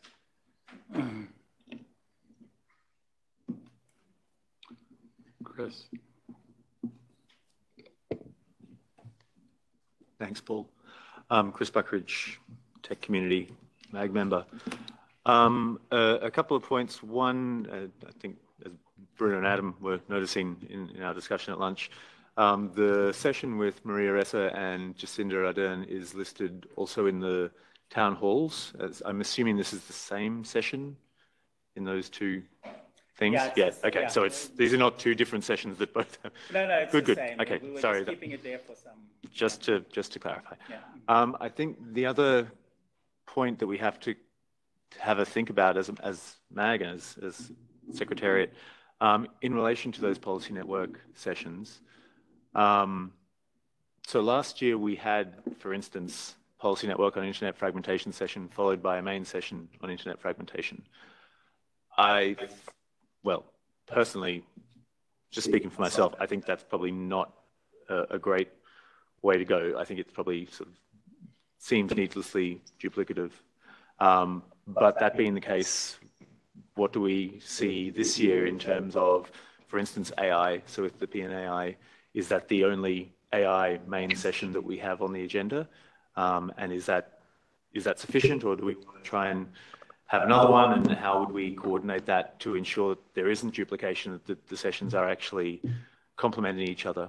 Um, and, and the same can be said, obviously, for the PN Internet fragmentation and the PNMA. Um, Actually, there is another AI session which is in the opening session. Uh, it's not listed yet because we're still trying to um, formulate it. Uh, once everything is confirmed, then we can say.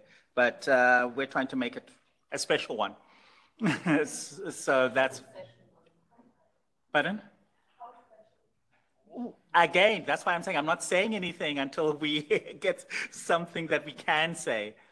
But yeah. Mm-hmm.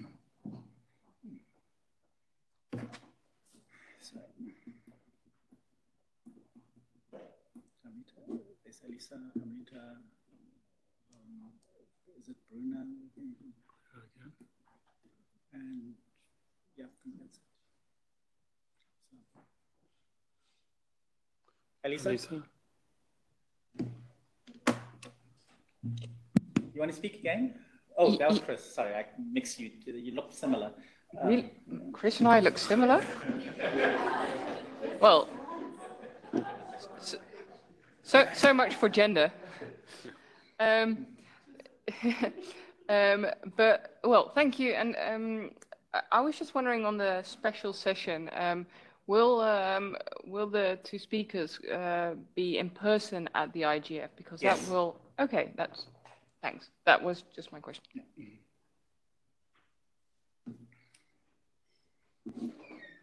Rita. Thank you, Chengetai. I think, um, as I mentioned yesterday, and I agree with Chris, we should not try to duplicate sessions just because we want to. So for that sake, even if you, it is a controversial high-level session you are having, if we at least know some contours of it, we would not want to duplicate that kind of effort, even at, with the lowly staff people we are. Um, so that's one part. As in, there, there should be some continuation in the discussions, not disparity.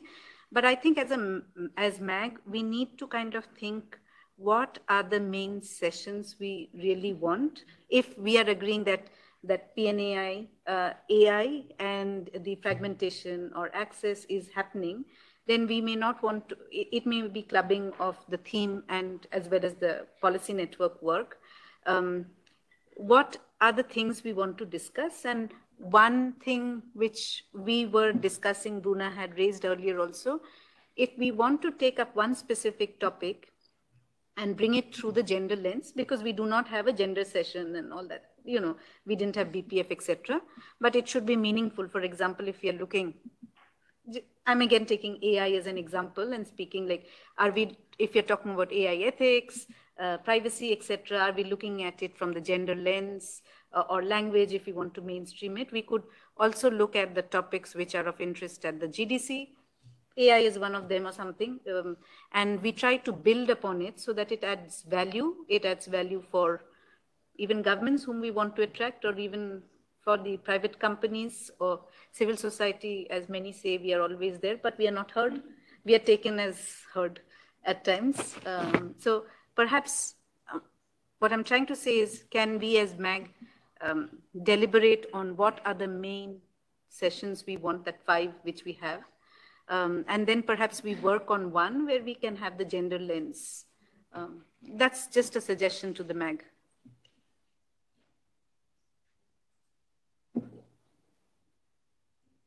Thank you. Bruna? Thank you. Few things. First of all, maybe a question like how many other special sessions we might have like ahead of us in terms of the ones that aren't fully on this um, schedule yet. Like so, just because you mentioned that's the it. that's it. Okay, good. Okay, just for us to know because of the whole discussion on overlapping and mm -hmm. like not duplicating the discussions and so on. Um, that's one thing. The second thing is that um, I've said it a few times already, actually. On the beginning of the year, we agreed that, um, more or less agreed, that the main sessions wouldn't necessarily follow the same um, division as the sub-themes. So maybe just reinforcing Amrita's request for us to discuss like what will be actually the topics for these main sessions and that we also have compromised on having one on global governance processes and the GDC, WSIS plus 20 and things like that. So we might be looking at four instead of just five um, if we're following the agreements.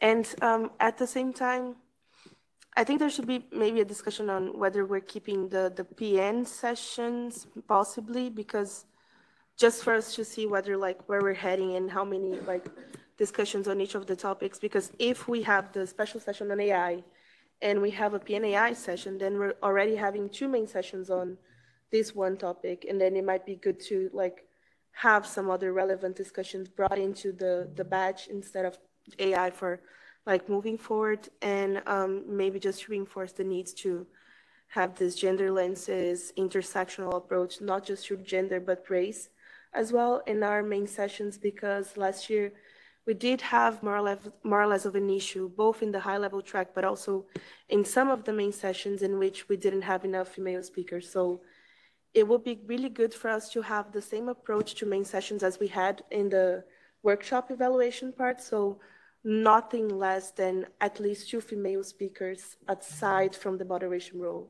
just so we're coherent moving forward. So, yeah. Adam?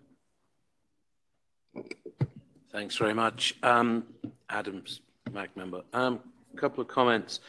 Uh, 90 minutes, uh, Maria Ressa and uh, Prime Minister, former Prime Minister are very interesting, but are they very interesting for 90 minutes? Uh, two people talking for 90 minutes?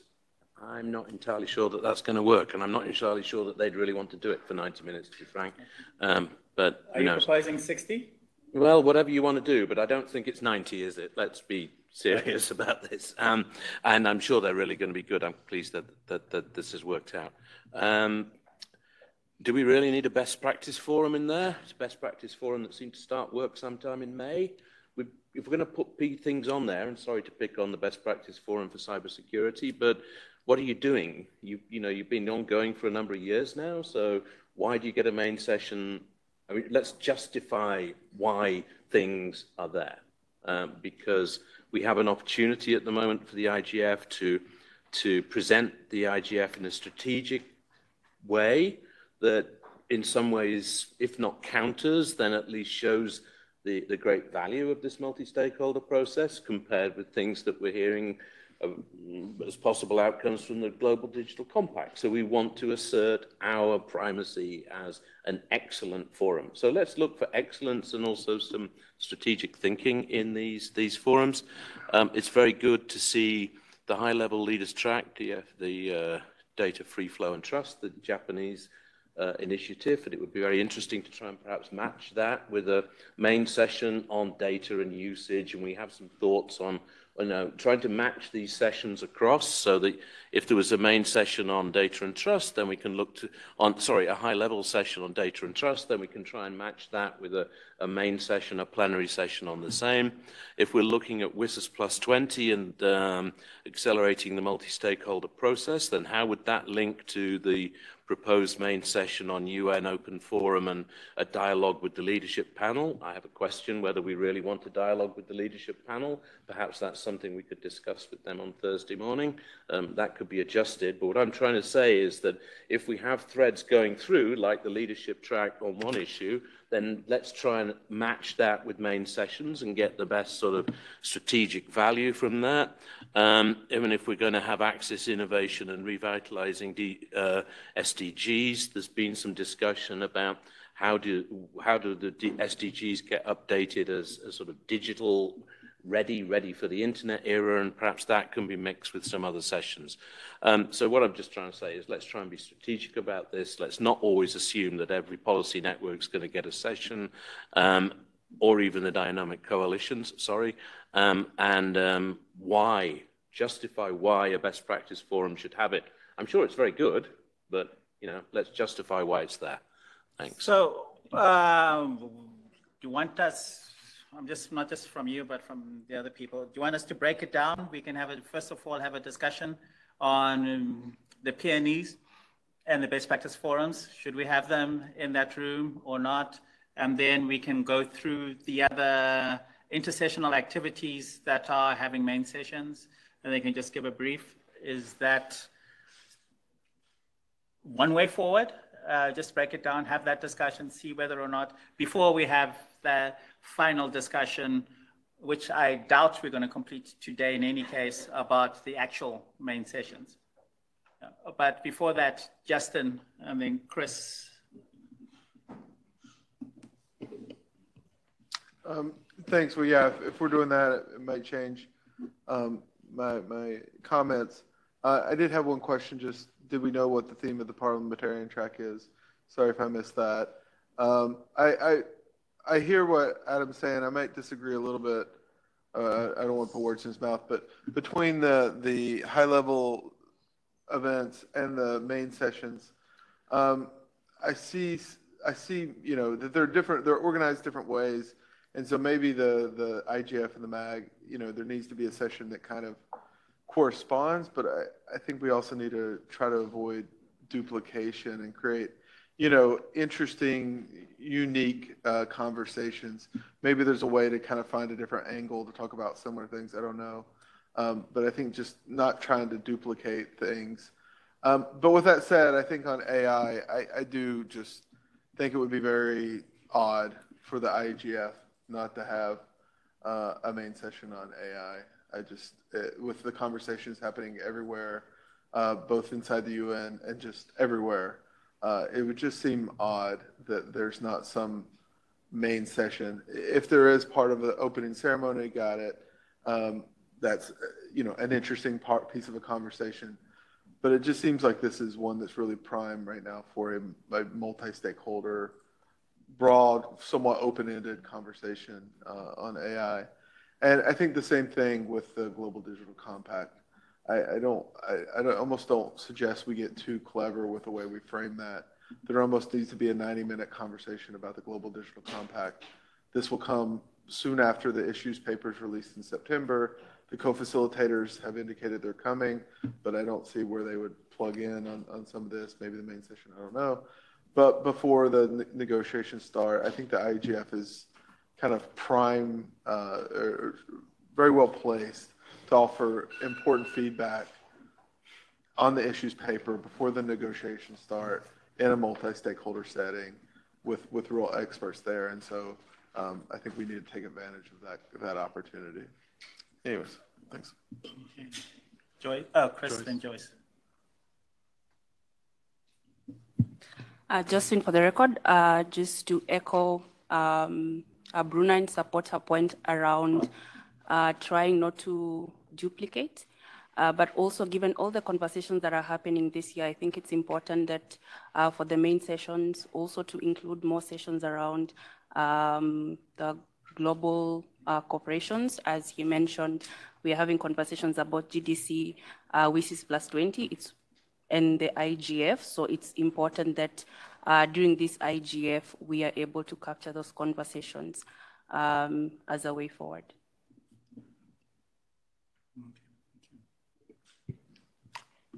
Thanks, Chris Buckridge, um, Tech Community MAG member. Uh, actually, we've started going in the direction that I was going to suggest. I was going to say rather than um, starting with sort of discussion about whether we want the policy networks or the BPFs to have a main session, there are five slots up there at least that are currently um, ambiguous as to what they'll be. And it'd be good to have a discussion about what we really want to see in these main sessions as sort of plenary sessions that will put the IGF in best light, make sure it's, it's a really interesting discussion. And as I say, I think we've begun that now. I think um, the points about AI needing to have some prominence there, obviously more discussion to have about the opening ceremony or, or whatever. Um, about having a digital cooperation session, probably focused primarily on the GDC, though I think we'd have a little discussion as to where WSIS plus 20 fits into that. Is it a broader session that incorporates that as well, or do we do something separate as a different session? Um, I think we've talked about possibly using one of these main sessions as a gender um, cross-cutting session to sort of pull, draw in different elements from the various themes and look at the relevance of gender in those issues. Um, so, I mean, I think that that to me seems like a more useful place to start. And then once we've, if, if we exhaust ourselves at that point, then then we can sort of look at okay, then how does that fit with the sessions we already have there on policy networks and other intersessional work? Um, and if at that point we're still talking and still coming up with new ideas, then we can start talking about whether those intersessional sessions should be in, in a different format or somehow um, used otherwise. Thanks. Uh, sorry, Chris. Uh, gender, GDC versus plus 20, and what was the other one?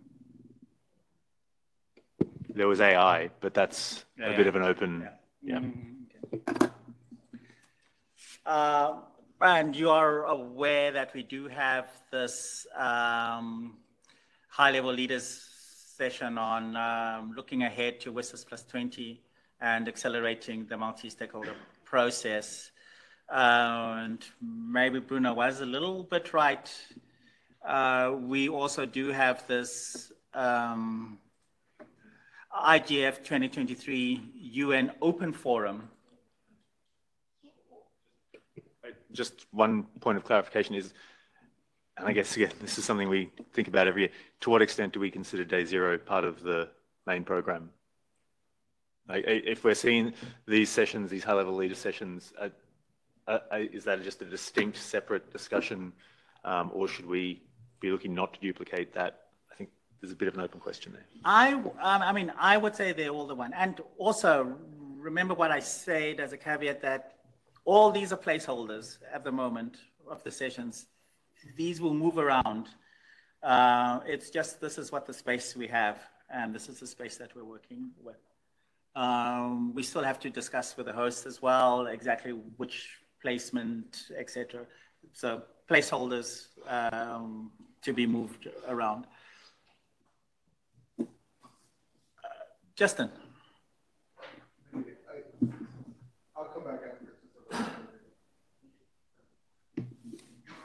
Okay, sorry, I wasn't, I was looking this way. Who's first? Maybe you be first because you haven't spoken. Yeah. Hmm. Carina Birarda, MAG member, for the record. Um, as a co-facilitator of the Best Practice Forum with John Bambana and Justin, I just want to remind everyone that cybersecurity has been one of the highest topic in the statistic of topic of interest in the recent years. That's all for me. Thank you. Uh, cybersecurity, you said, right?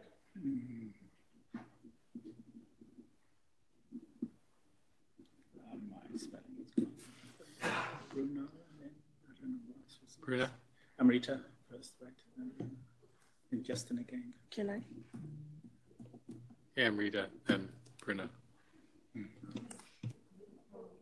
You, Amrita first. Thank you, Amrita, for the record. Um, as in two things, um, Justin clearly mentioned that we need to look at topics which are of interest. So obviously, cybersecurity is something. I disagree with Adam out there. There should be something on cybersecurity because this attracts interest. The other thing is um, perhaps from the host side, we are, we are having a lot of discussions in the MAG. Is there certain things which I, I know it's a tight spot, but if there is something which is a priority for you, or we could also think of it because we are looking at it from one direction. In case you have some pointers, and that would also help. Thank you. Um, Bruna? They're asking if you, have, if you want to add in any topic here that. Um,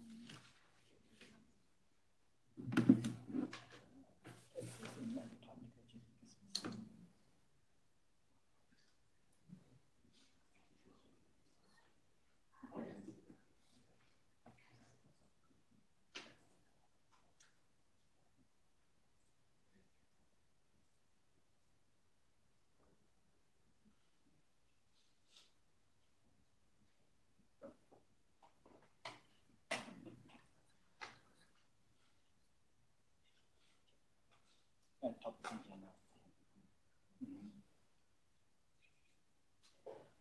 Bruna, please carry on while um, I think, I don't think we'll get an answer now, but if we, if they think of anything that's not included, they'll tell. It's okay. I was just waiting to see whether we, we had a follow-up answer.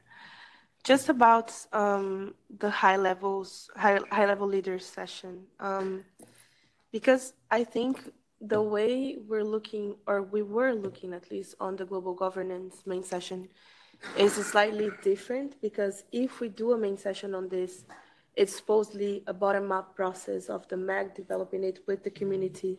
But if we agree on doing this solely on the high-level leaders slot, then it's slightly different, the approach that's going to be taken on. And I think that there is some other things, relevant things, that we ought to discuss with regards to the GDC, such as the sounding board suggestion and possible answers to the issues paper that's going to be um, um, out in September. So I would maybe here try to reinforce the point for us to keep at least one, at one of the slots of the main sessions for global governance process with the focus on this possible kind of interaction between the IGF and the GDC, because there's a lot of proposals at the table, and I don't think um, the high-level leaders on WSIS plus, plus 20 will possibly do it. So more or less on us maybe following the bottom-up approach of developing this one discussion. Yeah. Um, Yes, I did also mention that there is, um, so I may not have answered you fully, that there is that the, there's the UN session. And um, that may also involve um, the principal heads of organizations who are in charge of, of, you know, these processes, whether it be GDC or WSIS or et cetera. I mean, we haven't really delved into it, but um, just to let you know that, mhm. yeah. mhm. Um, Justine. Justin, yes. Um, thank you. Yeah, on, on the, so I'm going to talk about the kind of global governance cluster, uh, if, if that's what we're calling it. Um, I think that I, I look forward to the WSIS plus 20 session. I think it, a lot of information could be useful there. I, I'm a little skeptical, though, about showing up for IGF and the UN Secretariat's briefing us on what's going to happen with WSIS plus 20.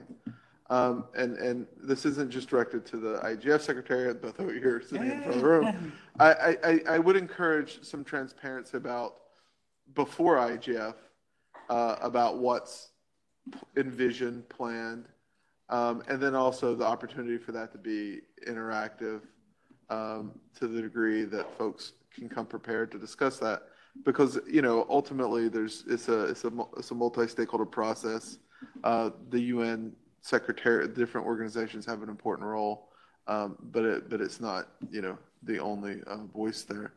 Um, Yeah. but, but, but I think it goes to another question that we, we talk WSIS in GDC, but really there is a whole a slew of processes that are cumulative going to impact the future of governance, you know, just in the UN system.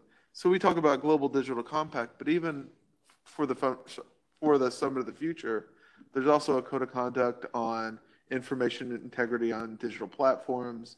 There's a new agenda for peace. There's discussions about AI potentially being, you know, a part of that.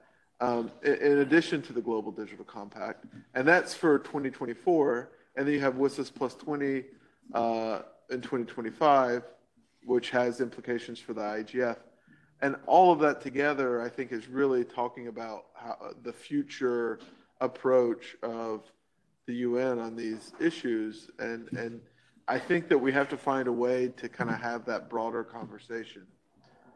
I say that, though, I, if the co-facilitators are coming, if the tech envoy or the office of tech envoy as the secretariat for that process is there, and the IGF community, a really targeted discussion on the GDC specifically, I think is warranted. It's at a moment in time when it would be very useful to have a very um, uh, focused, uh, in-depth you know, expert-led, multi-stakeholder discussion on that process.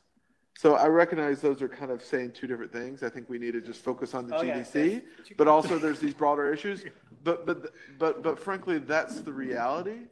And and I, I think that the IGF or the community should find a way to to broach both of those issues in some way. Um, because if we if we go big, we're going to miss an opportunity to really focus on a process. But if we focus on that process, we're kind of missing this larger conversation about the future direction that that the UN for sure, but I think the global community is kind of going on some of these governance questions. Uh, sorry, no, I agree with you. And again, we can have, there's enough there for two sessions. We can have one session for GDC, which can be the UN session. And we can also have another session on digital governance and the future. Um, and, you know, and that can be, actually be more multi-stakeholder and, I mean, that's also an option. But we are still uh, I have what one, two, three, four baskets here at the moment. Uh, I'm, you know, while you're speaking, I'm just five slots. Where I have gender, I have cybersecurity, I have um, whether it or not it's GDC or digital governance, and um, the other one is WSIS plus 20, which can also be rolled into digital governance as well, since we do have a high-level session. Um, but you did mention uh, we do have a high-level session, which will be multi-stakeholder in, in any case. But these, again, these aren't strict. These are just what planets are forming in this solar system here. Uh, that's what I'm getting. Justin. It's- Okay. You have to look to the back of the room occasionally, Chengetai, please. Well, no, because we were having a conversation. Well, have yeah, conversations or, or go in the order of cards, but decide which it is. is a good idea. And um, I wanted to just say, I think with these GDC discussions, WSIS plus 20 discussions, we have to be careful that we're not going to have a session where people report on their reports. Um, I think we saw, you know, we've seen that before. We want to try and get to some meat of dialogue.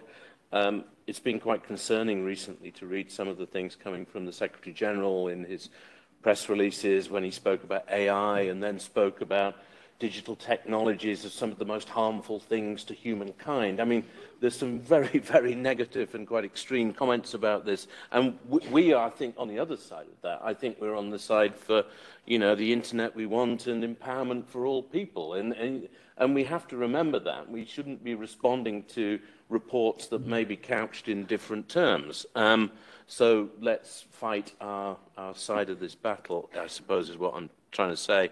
Um, what is, and this is a question, um, what is, a, and I'm sorry if I missed it, uh, what is a UN open forum? Um, because, um, yeah, well, what is it, please? Thank you. We've had this for the past couple of um, IGFs, and where we have the heads of organizations that are. Given, given the time that we're in, I'm not sure we need to hear heads of organisations. If they want to submit um, a written report or do a video that we can all watch in the main session, absolutely lovely. But we're trying to, you know, we're at, it's a time of, of, of challenge, isn't it? So, so let's use it for not 90 minutes of listening to people talk about things that would be p- wonderful to read, um, and I'm sure we all would, but, you know, I'm not sure. I'm sorry to be so blunt. Thank you.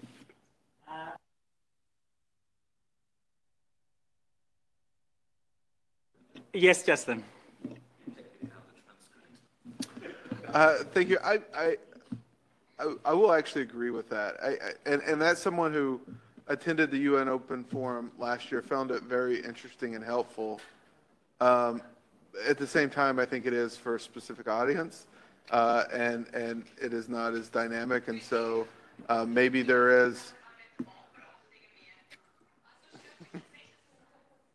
you know, maybe that is one can move off the main floor and, and be a more targeted audience. I, I, again, I found it interesting, but it kind of goes to the WSIS it was just being talked to, which there's a place for that, um, but but not as uh, interactive.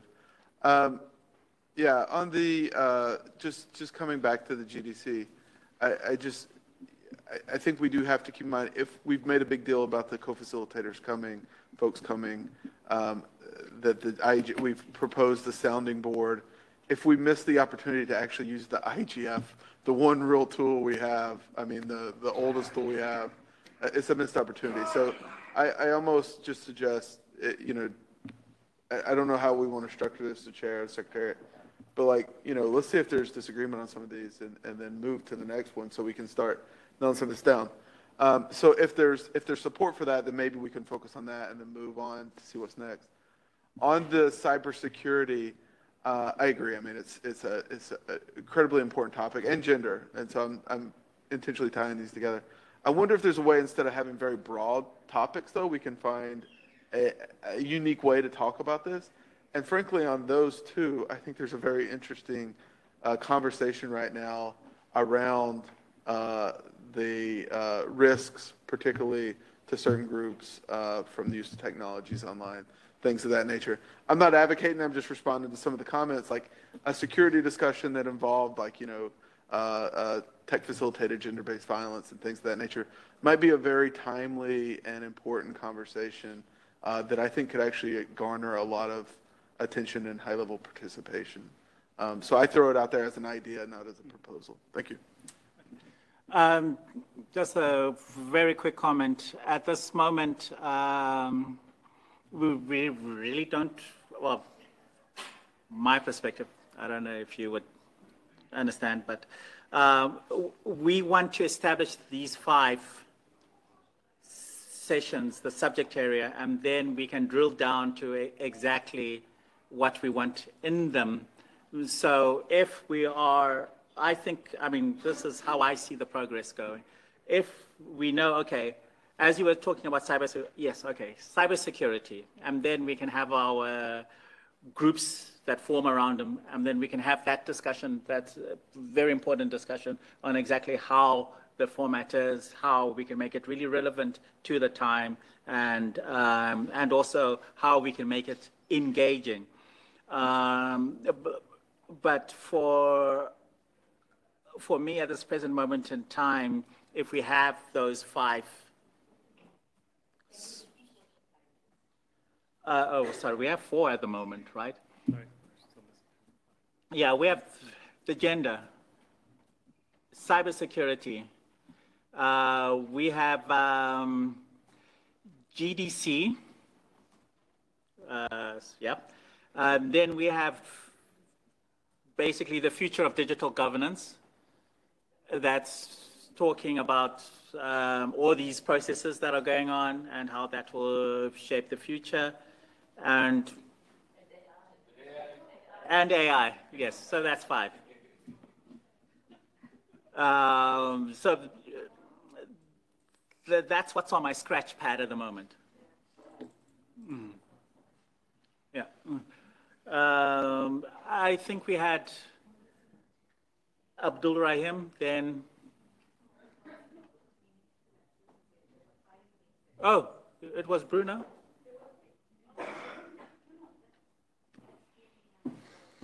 Can we have a list of, of who wants to speak now? Okay. Yes.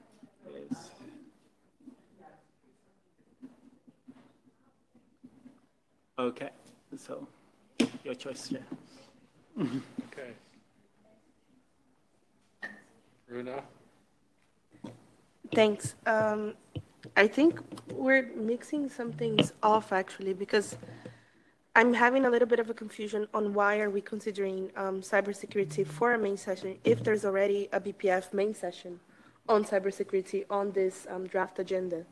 Are we doing both? Um, I think we are not doing both, right? At least it was the compromise of not having this duplication. So, I mean, should we just maybe scratch the, the BPF and, and, and all the intersessional sessions and then consider like a group of main sessions in which we're going to allocate per topic? Or like, should we just skip them and just say that um, fragmentation, AI, cybersecurity, they all have their main slots already because I think these two things are on the table right now. Um, and in terms of um, the topics, it would be very unfair for us to move on without actually considering sustainability for our main session as well, because we actually discussed it um, back in Vienna. So that's also the second one. I mean, maybe we can fine tune and, and see which which kind of like um, thing we want to discuss about it. And um, maybe the UN open, for, open forum. I agree with Adam. It's it's sometimes all of these kind of like reporting sessions. They it's what I was saying, which with the top-down approach because they're not interactive. You don't get to ask questions to the UN agencies, and that's kind of an issue if you're, if you're looking at it from a bottom-up community um, perspective. So maybe if we are really keen on having the agencies reporting, can't we do it on the opening statements from stakeholders otherwise and, and leave this lot for maybe something else and just have a small briefing notes from each of them because I also have a hard time understanding what is the opening ceremony, the opening session, and the opening statements from stakeholders, and that's taking four hours in the slot on the first day. So just, yeah, some more questions about it, but um, yeah, just, yeah. Um, no, I mean, I had that initial thing about discussing the, but then it was decided that let's focus on these five, and then if the five are filled, then we can go and look. So we decided to take that step. So that's why we're doing the things the way that we're doing so at this uh, present moment in time. I will not comment too much about the uh, UN Open Forum. Um, that's not my thing that I'm organizing, but I will relay your comments to them. And whether it's a matter of reformatting the thing or etc they can take another look at it. It doesn't have to be the same as it was last year but we do have these people there. And um, it will be of use to have them in some discussion that will inform the public and be of use to the um, participants. But yes, your comments will be uh, um, sent to New York about um, this one. Um, Carol. Oh, no, yes. Alyssa. Alyssa, sorry. Oh, yes, you were first, in fact. We all totally missed you. You were first on the list. Th- Thank you, Chengetai. Um, yeah, I just wanted to uh, to support the idea to have a session on uh, sustainability or environment, something like that. Um, we've had it in, in previous years, and I think it would be good to build upon that. Um, um, and um, on the UN Open Forum, I mean, I, I, I think it would be good to have other UN agencies involved in the IGF and, and, and hear from them. But please ensure that it's an interactive thing between the UN agencies. And then maybe, well, kind of what I asked yes, yesterday, um, interacting on, on the IGF messages, um, maybe from last year, what have they taken into account from that? Um, and and what, how can they also help the IGF? And please really ensure that it's not a um, just a summarization of what they're doing um, and, and, and ensure that it's a good debate between the UN agencies and, and see if, if we can get some coherence between these agencies. Thanks.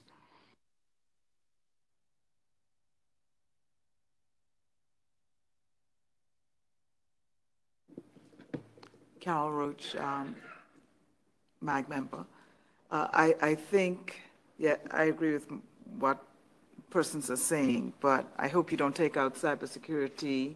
Uh, it doesn't become a casualty because within the cybersecurity, it, it's quite a lot. It's not only about um, crime and um, security issues. We had a lot of, of proposals on um, child protection, and that is a major concern globally. Um, so I just don't look at cybersecurity as oh some techie thing talking about protection.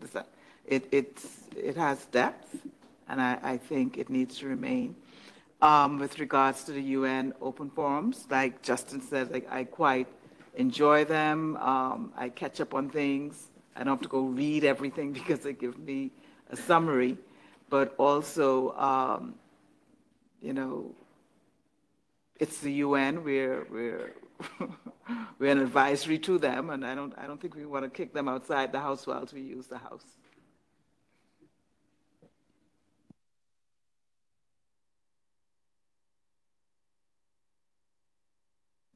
Thank you, Paul. Um, Amrita, for the records. I think um, issues are important, and I agree that what the BPF is doing on cybersecurity is quite different from the various other cybersecurity issues. Um, and I agree with Justin here. For example, if you're looking at cybersecurity, we can try to marry it with something else so that we look at it. For example, one thing which we're missing is the human rights. Can we bring that into the picture with one of the tracks?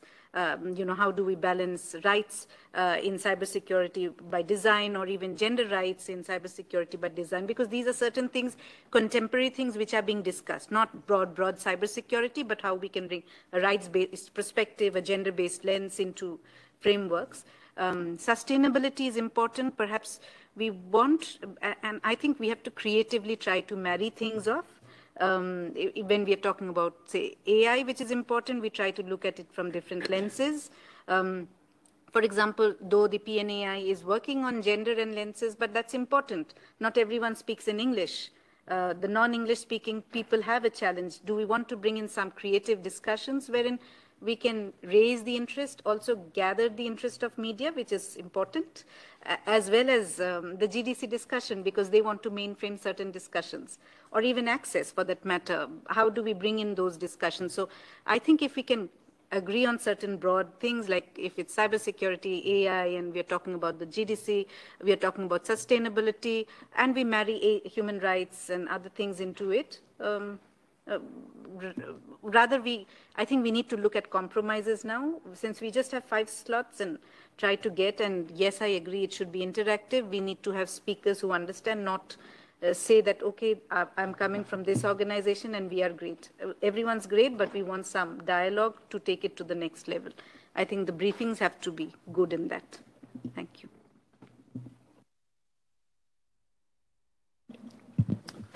Yeah, um, thank you. And, and just coming back on the on the open forum again, I, I, I enjoy the conversation, but I do think it should be conveyed back to New York that um, you know the IGF is not just an opportunity to come brief out. It's a place for dialogue, and I, I think that some of the challenges this year and some of the real angst is folks are concerned that particularly New York uh, is not listening to broader community, but is very kind of proactively doing stuff uh, in a vacuum. And we need to be sensitive to that, and we need to ensure that the IGF remains a dialogue, uh, not a, a briefing uh, forum. Um, on, on the main sessions, I, I, kind of going back, I, I do think that where we can have a more interesting program and then also kind of, for lack of a better metaphor, kill two birds with one stone, is is find a way to kind of have an interesting conversation that, that tackle issues, but in a context that addresses another issue. So I, I mentioned I, I, think that uh, a gender security discussion is very prime. Uh, right now, there's been a ton of interesting work this year uh, on that, and it's a very big challenge. And so, uh, countering tech facilitated gender based violence or other kind of harms that are happening online to vulnerable groups, I think could be a very uh, useful uh, com- conversation. I think the digital sustainability is also kind of one that we haven't discussed a lot in the past, but is emerging as a really a new topic that needs more attention. And so I think there's a way uh, to incorporate that. Um, when, when we talk about uh, the digital governance piece, you know, I wonder if there's a way to tie in a broader AI conversation into that. Um, certainly, AI is having its own governance debate, but that has to be you know, kind of considered in the context of the existing framework and, and the way the existing framework is evolving. So when you're thinking about things like the Global Digital Compact or WSIS or uh, the MAG or the IGF or some of this, part of what we're we need to consider is is how those fora are addressing uh, artificial intelligence issues and kind of these new technologies come along. So I wonder if there's an opportunity for, you know, the future of digital uh, governance in, in the age of AI or something like that as another main session topic that can kind of tie different threads together. Thanks. Um, can you just change that to, or if you can put in the corner the J, column J, um, gender, cybersecurity, the next one, uh, GDC slash digital governance, and then the next one is sustainability. And then we have AI, which may actually go on to the third line, right?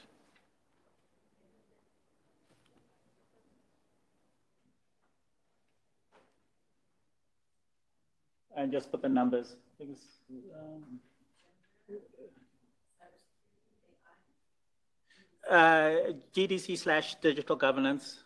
And Justin just said that we could maybe join it together with AI, right? I, I, I would not suggest trying to do GDC, Okay. digital governance, AI No, no, no. I just did a think that- here. I think there's a way to do digital governance and AI together, or potentially there's a way to do GDC and digital governance together.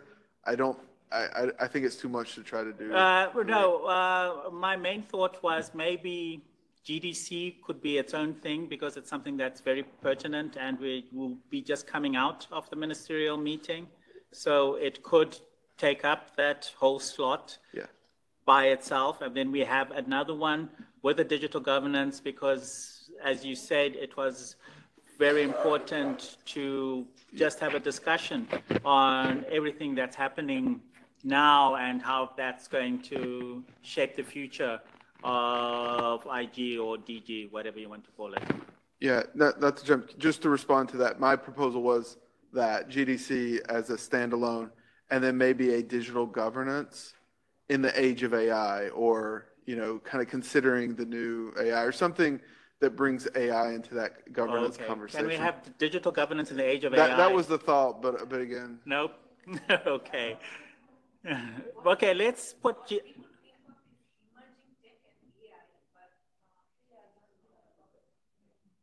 okay, uh, for the purposes of this conversation, as now, let's put GDC as number six then. And then, um,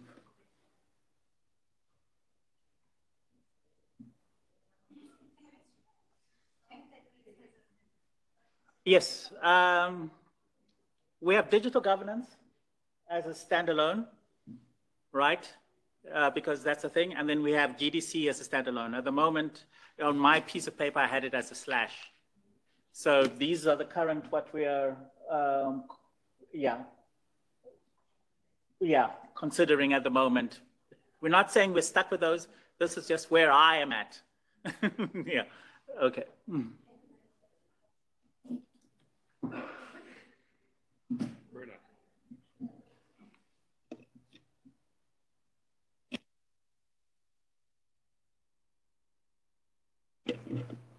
Fine. Peace had her hand up as well. So, um,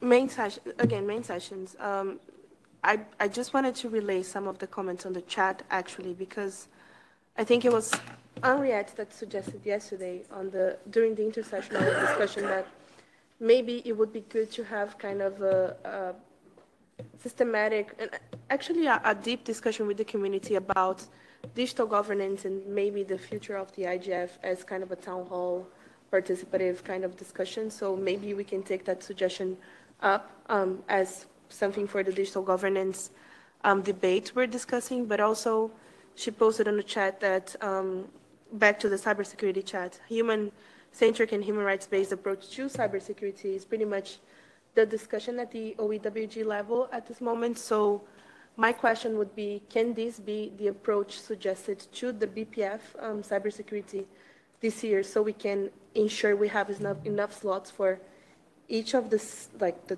topics that we're listing? Because as it is right now, we, we're probably going to like, leave at least one out. And to me, cybersecurity is the one that's repeated. So Just, yeah. I mean, do we have a representative of that? uh, BPF? The BPF, Yes. yeah. Can you answer that question? Yes, um, Jong Woedene, MAG member and BPF co-facilitator. I think the, um, at the beginning of the year, the BPF has already submitted to the MAG the, the, the work we would like to do this year. And the, and the aim of the main sessions and the BPF on cybersecurity is really different. The, the BPF will rise uh, events and doing a research paper on the last famous events with a uh, first-person narratives. So I don't think it's really, it's not really the aim of the main sessions. It's a research, it's a research for, i- it's a result of a research of, uh, of a long, a year-long research, so it's not, it's not the main session.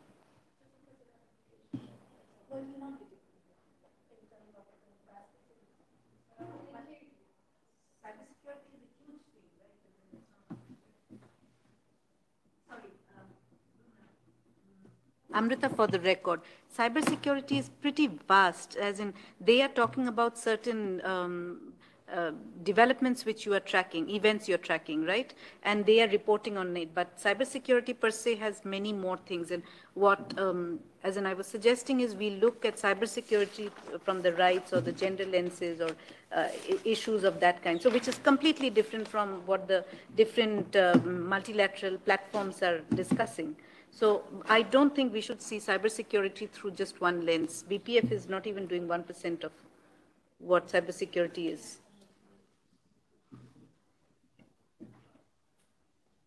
Okay, peace. Peace here, MAG member, for records. Thank you, Paul. I am looking at sustainability, and I'm wondering if we're looking at sustainability and uh, environment, because I think it's very important for us to look at environmental justice, you know, looking at issues of e-waste management, looking at the regulations around that. I think it's a very crucial topic. So if we put sustainability, are we thinking about environmental justice? In our sub theme, we had it as environment, sustainability and environmental, how do you call it? Yeah, environment. So I want to bring to our attention that it's really crucial for us to discuss environmental justice. Thank you. Thank you. And Adam.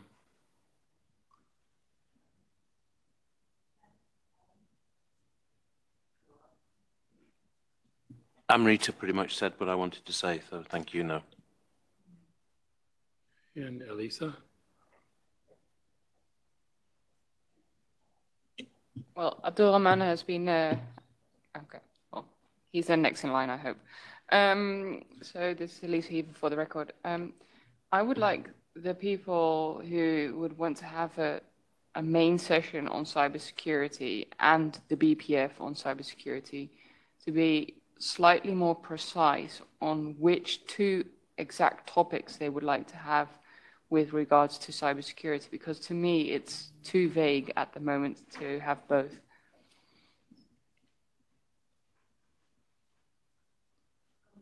If I may just respond to Alicia.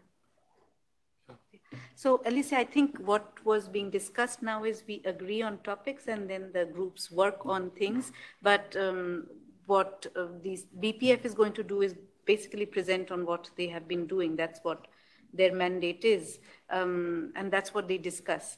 And uh, on cybersecurity, what I was suggesting is we look at the rights-based approach, the gender aspects, or even how it is affecting marginalized communities, etc.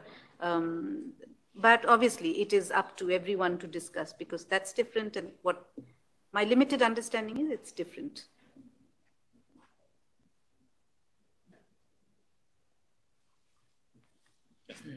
Justin? Oh, Abdul Rahim. I didn't see your, Um, oh, you have to wave it. Yeah. Uh, Abdurrahman for, for record mag member. So uh, just just from other angle about main session, I remember in, in, in our last meeting in Vienna where there is almost 20 plus organization came and, and present their work and they're willing to be part of IGF, uh, as, as I remember on, on that meeting.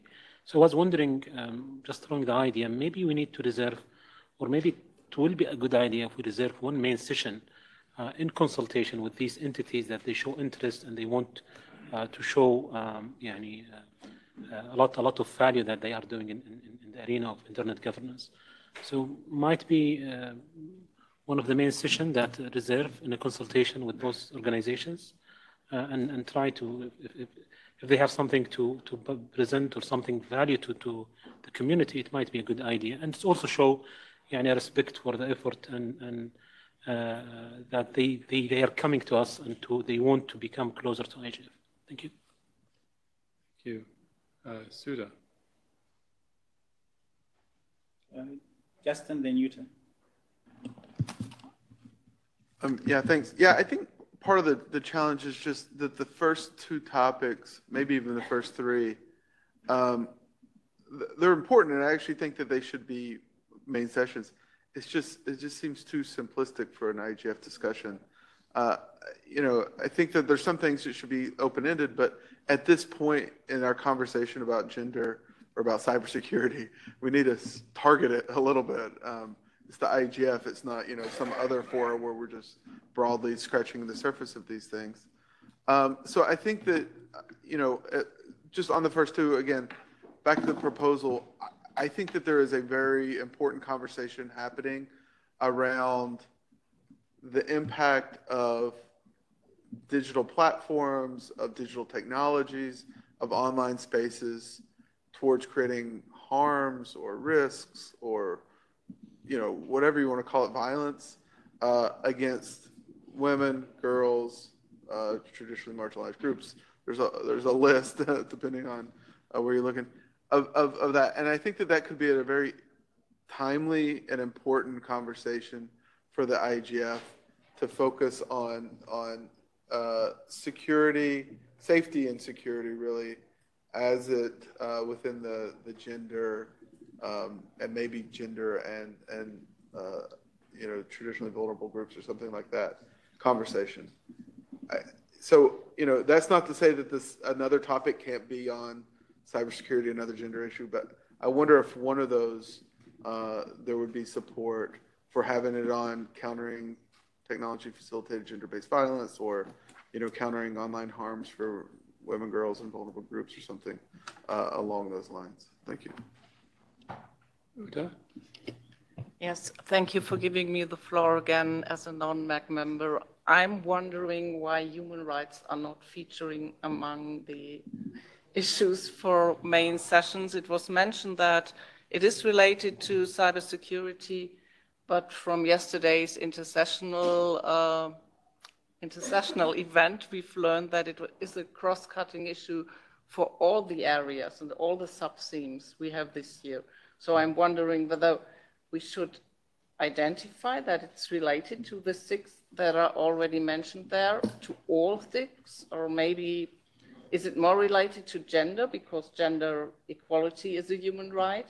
Is it more related to cybersecurity because so all of them, and that then that should be a precondition to the main session that human rights are addressed in all these main sessions a rights-based approach. That's what I would like to suggest.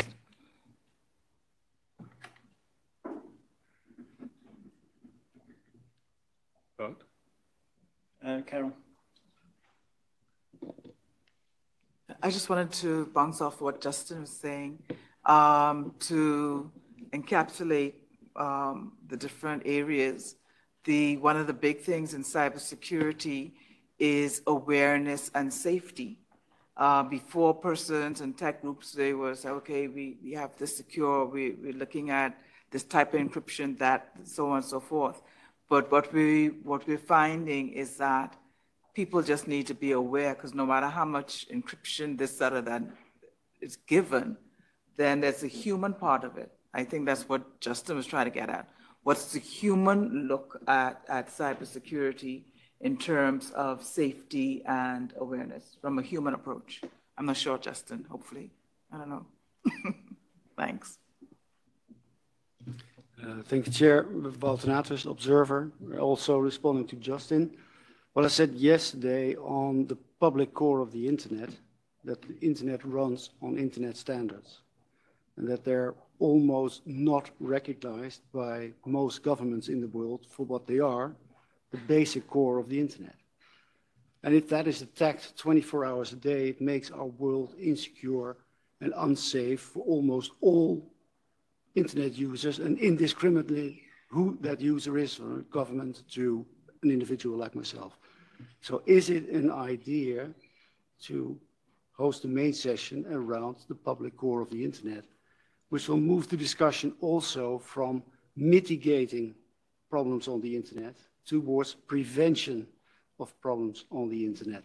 Because it would be about defending these internet standards, but also by deploying these internet standards where everybody in the world that needs to deploy them.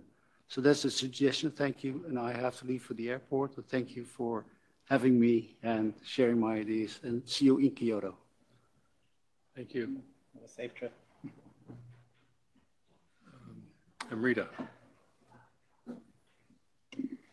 Thank you. As in, I do agree with what Justin is saying. These are not standalone topics. They are cross-cutting, and we need to look at them together, not as gender, cybersecurity, or AI or something. We may want to marry them to reduce the number of sessions because that adds value.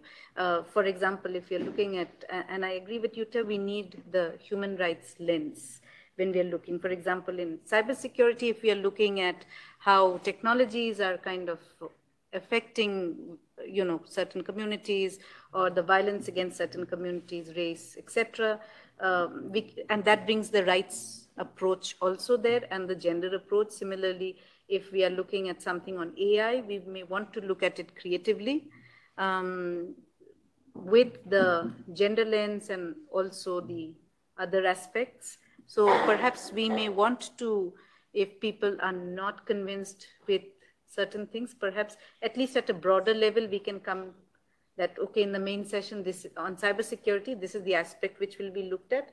Uh, in an AI, we are looking at this aspect.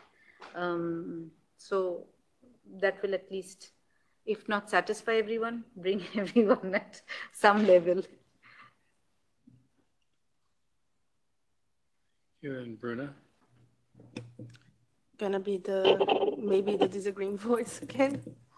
Because i think the way we're heading we're creating some kind of let's say disparity between the sub themes we might have two sessions for cyber we might have three sessions for ai and that's not really fair considering we have eight sub themes so my point would be like maybe Justin I, I like the suggestion the, the direction Justin setting because there is no discussion there, at least. Um, there is a small one um, on misinformation, but maybe we can do one session on online harms and um, digital platform governance with a human rights based approach where we could discuss both um, governance and cybersecurity aspects um, or anything that comes out of that. Um, I'm not too sure on AI again because I think we might have the PNAI already addressing this and we already have the host, host country focus on this topic too. So wouldn't it be more fair for us to like give space to another of the sub themes that it's probably being forgotten um, in all of this? And um, because again, again, like I understand what you said, Amrita, like a lot of these discussions are very different, but the same happens for AI, the same happens for human rights. And last year we kind of like put human rights and access together in the same basket, but the main session was mostly about access and not about human rights.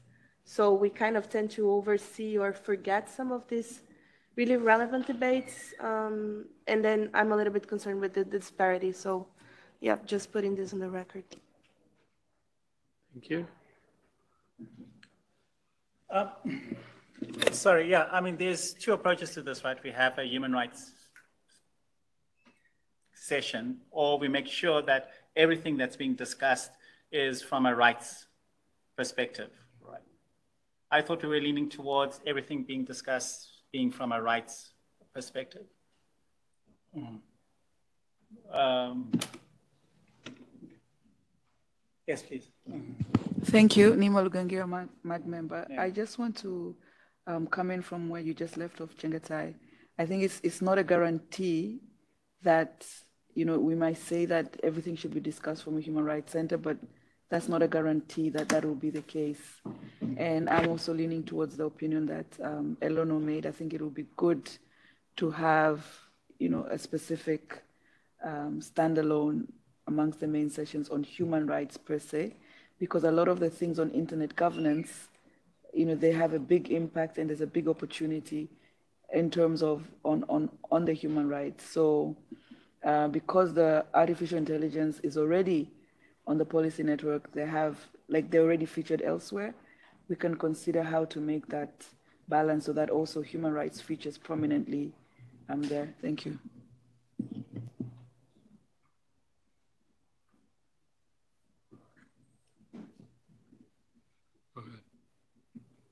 Uh, Justin Suki. Um, Oh. Thank you. Just, just responding to uh, one comment from Bruna on the AI.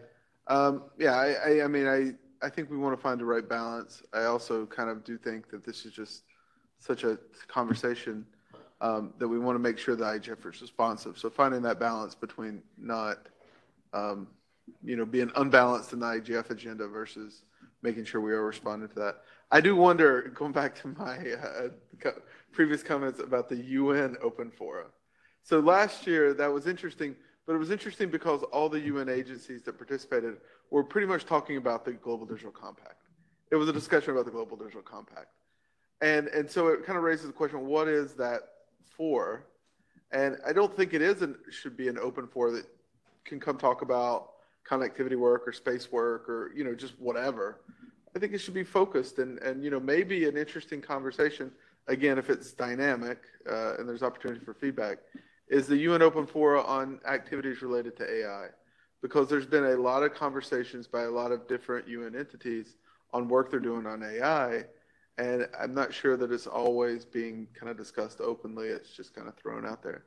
So, you know, one suggestion might be instead of a main session on AI, given some of the other conversations, uh, we encourage the UN Open Forum to be dynamic uh, and then also to focus on activities related to AI, which is a very kind of timely conversation. Thanks. Particularly since I believe this is right after the UN plans to launch an advisory board on AI um, at the Secretary General level. So. Suki? Um, yes, I, I'm. I mean, I I would still go for AI as a topic for a main session because I think AI has so many facets, and uh, as long as we don't know what the high level panel will discuss upon, and also um, the the uh, policy network, I was I would still stick to that because AI is so huge. I mean, the impact of AI will be greater than anything else what we have experienced so far. There are so many ongoing discussions, for instance, the EU Act on AI. I mean, uh, um, audit uh, systems uh, um, uh, uh, proposed by private sector like Facebook and so on. It has so many aspects that we could look into, and I think that it would be a good signal to show that uh, Internet Governance Forum is really tackling the topics that are being discussed worldwide. Carol. Okay, I think Justin and Suki have covered what I was about to say. If we want to remain, um, Justin's word, responsive, uh, my word, relevant, we need to keep AI in there. Um, it is massive. It is. It is going to affect. Every, well, it started to affect everybody's lives, and it has to be discussed um, people have to um, have, be given the forum to do the discussion. So I don't think it's a good idea to remove AI. Yes, go ahead. Uh, yeah, I just want to echo what Carol just said. I think um, we might underestimate how cross-cutting AI will be or is already. And um, also the point on having it under I think Justin said having it under the UN Open Forum. I, I would still maintain um, a multi-stakeholder dialogue on AI um, instead of um, under UN uh, open forum. Thank you. Neema. Um, thank you, uh, Neema Lugangira again, MAG, MAG member. I think all of us agree that artificial intelligence is, important, and especially even for myself, coming from an African perspective, artificial intelligence is an important discussion. But here also we have to look at the balance and fairness across the different blocks. Currently, I think AI has three sessions already, if I'm not mistaken. I think there are three. There are three. So let me, let me finish. So if AI has three sessions, then there should be consensus somewhere to drop some of the sessions and give an opportunity for other thematic areas to get an extra session. You know, because then it's it's becoming like they, they can't we can't have it all just on one because they're equally because even when you mention, for example, human rights, human rights can also be discussed with an AI included in human rights. So it's not a it's, so it's not so it's not like if we put human rights there, AI won't be featured because AI also has an impact on human rights. But to have AI have three sessions, I think that's not fair. So somehow we should discuss that and see um, what can be done there and what other thematic area can have an additional session. For example, we can talk about, you know, um, tech-facilitated gender-based violence. That's a huge topic as well. Even the UN is discussing it. UNFPA is discussing it. So I, I think we need to find a balance on this topic. Uh, thanks, Neema. So as people speak, can we see whether or not we can join, if you agree, um, AI with something else?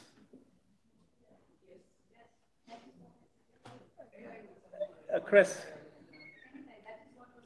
I'm, uh, AI and what? Sorry. But I'm, if I AI and human rights, I, AI, I need something to put up there. Can I?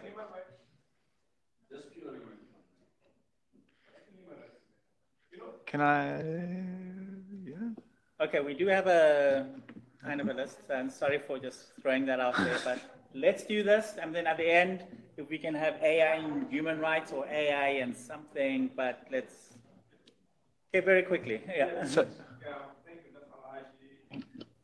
um, MAG member. I, I, think AI and human rights would be, would, would be fundamental because, again, a lot of countries um, across the globe actually are calling for maybe um, policies on AI, and um, for the most part, they do not actually actually understand in it. So I think if you put AI, and for the most part, people are pointing to AI and actually and human rights. So I think AI and human rights would be a really very good, you know, very good area that we can actually discuss. Okay, uh, let's do it in order. Uh, Chris, Adam, Amrita, uh, Justin. So, Chris Buckridge. And uh, Bruna. Chris Buckridge, MAG member, tech community. Um, I'm, I don't have much of a horse in this race, so I'm, I'm not super committed to this, but just throwing it out there. I, I do think Carol and Justin are right that I think AI is a very big issue here and the IGF needs to engage with it in a very serious way. Why don't we make one day AI day? Um, I, I, think there is a huge um, diversity of issues that AI raises. And I think if we were to say, and this is a random idea, feel free to reject, but if we were to say day two was a mini AI conference in the main plenary room, and we had a number of different sessions, AI focused that could look at different aspects of the AI discussion. Essentially, yeah, and, and I mean, that would free up the rest of the week, obviously, for other issues. I'm not saying we should have AI in those other, those other days, but it would also give us something as a MAG, as an IGF secretariat, as a community to latch onto as a sort of marketing effort as well to say there is this focused AI discussion for those of you who are seeing AI as a, a big issue to engage with. Um, yeah, so it, it's a little the opposite direction that we were perhaps moving, but maybe also it, it fits in with that in terms of integrating AI into other discussions about human rights, about, yeah. Anyway, just a random idea, but yeah, hopefully thought provoking. Adam? Thanks. Um, that's a, I think that's a really interesting idea because it, I was going to go back sort of in time and Chris has taken us nicely forward with that suggestion. But what I was going to, what I will say is that in the main session we had last year on AI, we had a number of international organizations talking about the work that they were doing on principles and norms, on implementation, on standards. And there was a suggestion at the end that a role for the IGF, which fits with some of the work we've been thinking about sounding boards and how does the IGF mesh with the work of the Global Digital Compact, etc., that the IGF could be used as a place where norm, standard principles, implementation, people came to have that reviewed or have that looked at, to have progress with principles, are they being upheld, etc. The IGF as a global multi-stakeholder forum could be used in that way. So it'd be kind of interesting to fit that quite strategic role for the IGF with the discussion, as Chris has just mentioned, and it gels with all the ideas of IGF and human rights and IGF and gender-related issues and security, etc.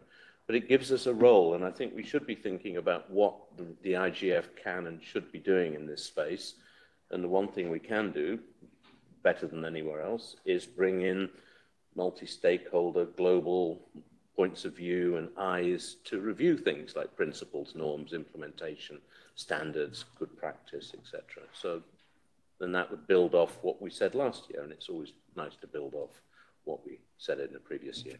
Thank you.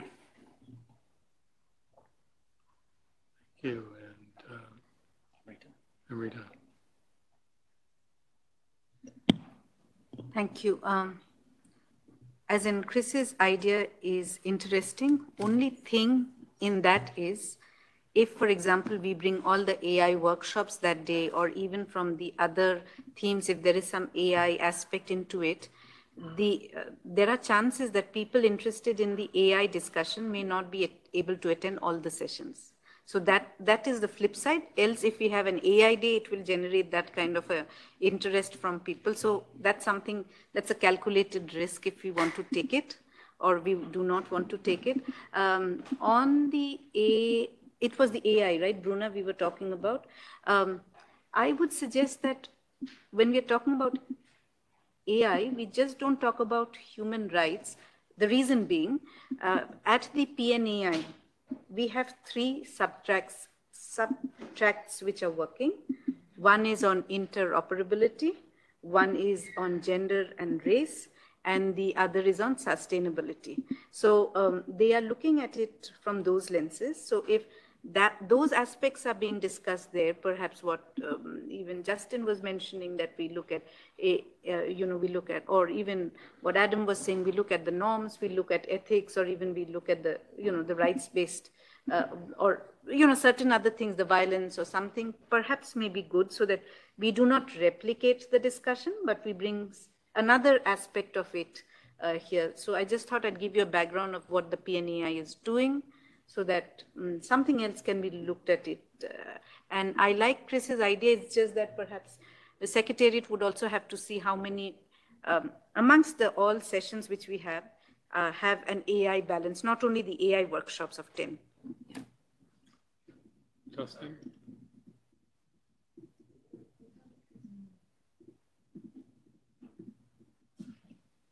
Um, thank you. Yeah, just on um, I, I really like the proposal for, you know, a day. I, I don't think that it necessarily changes the agenda and, and, you know, kind of the number of slots once we, once we agree to that.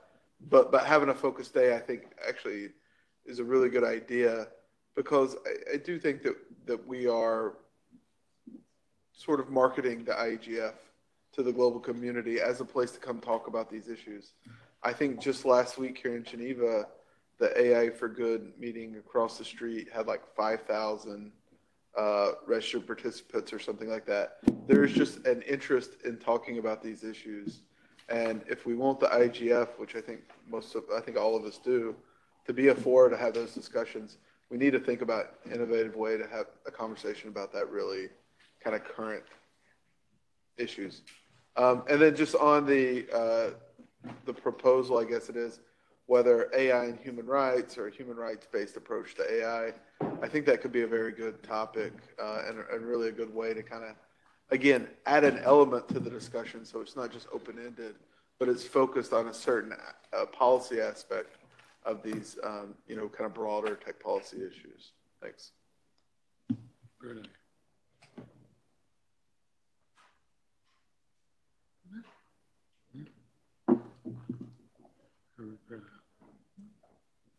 Thanks. Um, again, gonna insist on the same point because I'm afraid we're becoming like we're turning into some like subset of AI for good. We already have 13 approved workshops on AI.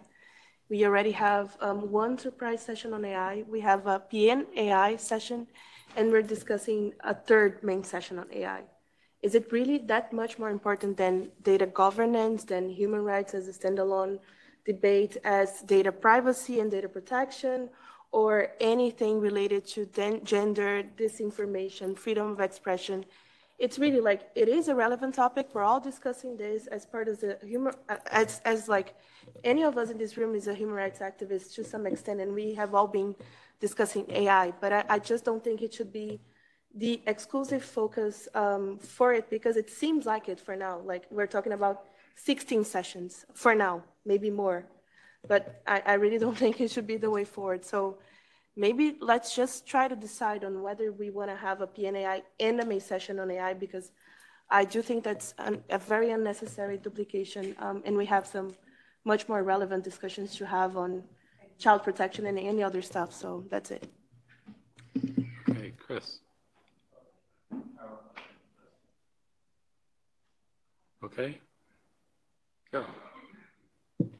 Um, this is uh, Carol um, Roach, uh, member. Uh, Bruna asked the question, is it that important? Yes. It is that important because it touches on everything that you've said. It touches on gender, it touches on child protection, it touches on everything. Now, with the PNAI, we had to narrow down, as um, Amrita indicated, we had to narrow the, the scope because we are limited to X amount of pages. And trust me, AI is more than the 10 pages that we, we're going to have to give. And um, you, you, are talking about AI having all of these different um, sessions. All the other ones have uh, equal sessions as well. So, you know, we'll we were given, um, AI was given a section, so of course you'll have that amount of things in there. But AI is relevant and it is, you just cannot have a main session on AI. It's just, Chris. I think it's a bullet. Uh, Chris Buckridge, MAG member, Tech Community. Um, so a couple of points. I, I think Amrita raised the point before, and I just wanted to clarify. I'm in the not very well considered idea that I was having. I was only thinking about main sessions. I don't think it's necessarily a good idea to bring all AI related workshops onto the same day. And in fact, I would also, if you have the workshops spread out across the week, that also gives the sort of AI hardcore, diehard people reason to stay for the rest of the week rather than just fly in, fly out. Um, I, I, mean, I, I, think to the points Bruna was making, I, I, think these are not either or topics. Like human rights and AI are not two either or topics. AI, human rights is an aspect of the discussion we have around AI. So I think this is not about excluding or minimizing those discussions about access or data governance or um, human rights at the expense of AI. I think it's in the interest of of creating a, a sort of conference that is dialing into the sort of uh, zeitgeist, um, putting those discussions of human rights and data governance and trust, etc., into a context of AI for one day of the conference that can maybe be um, pitched in a successful way to stakeholders around the world.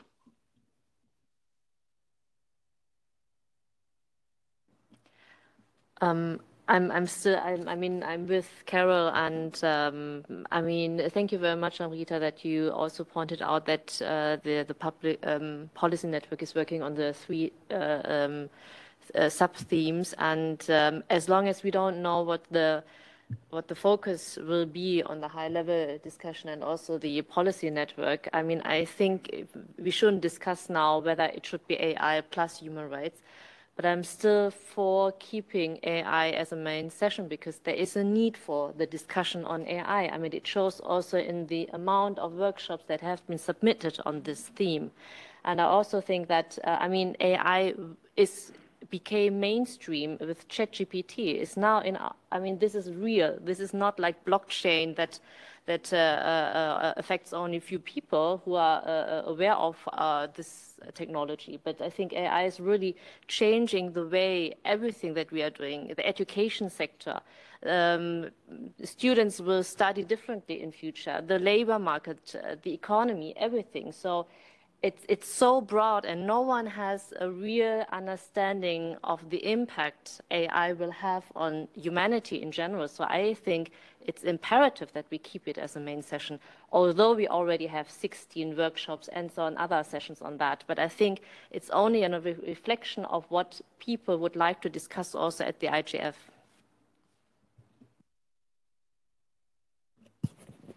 Thank you very much, Chair. This is Anja from the IGF Secretariat, but speaking in my capacity as the NRI's focal point.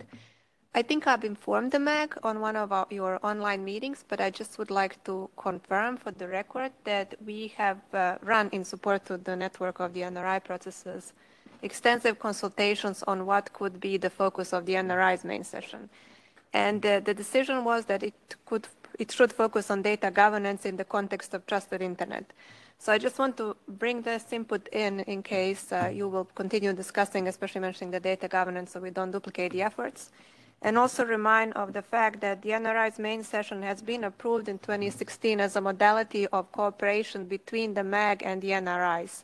So uh, we really encourage all the MAG members to join the preparatory process, to work with the NRIs on equal footing, uh, respecting the NRI modalities, and to develop this session together. The format of this session um, that's been already under planning will be, um, I think, significantly different than in previous years because it will focus primarily on getting experts from different regions affiliated with the NRIs, but a very limited number, and then it would go into an inclusive discussion. So certainly MAG's advice here is uh, much appreciated. Thank you. Chris. Thanks, Paul, and thanks, Anja, for that um, update. I mean, I, the NRI session um, is, is, certainly something uh, I think it's good for us to get into as the MAG in terms of what that session is. Um, and I, I, know it's, it's been there as a sort of modality for a number of years now.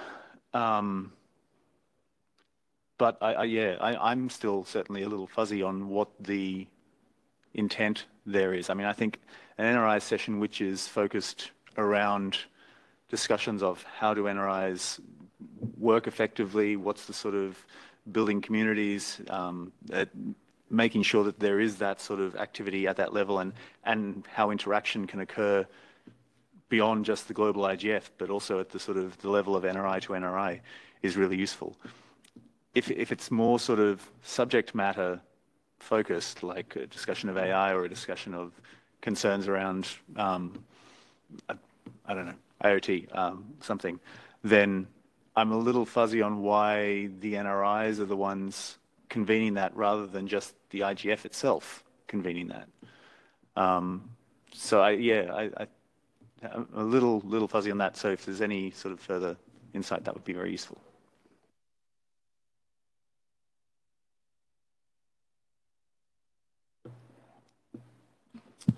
Um, thanks. Yeah, I, I, think that you know there's there's a lot of issues that really the IGF deals with every year. And part of what we do in the MAG is just tailor the conversation to the relevant aspects of that. So things like gender and security and inclusion. I mean, these are human rights. These are cross-cutting issues that we've talked about for years.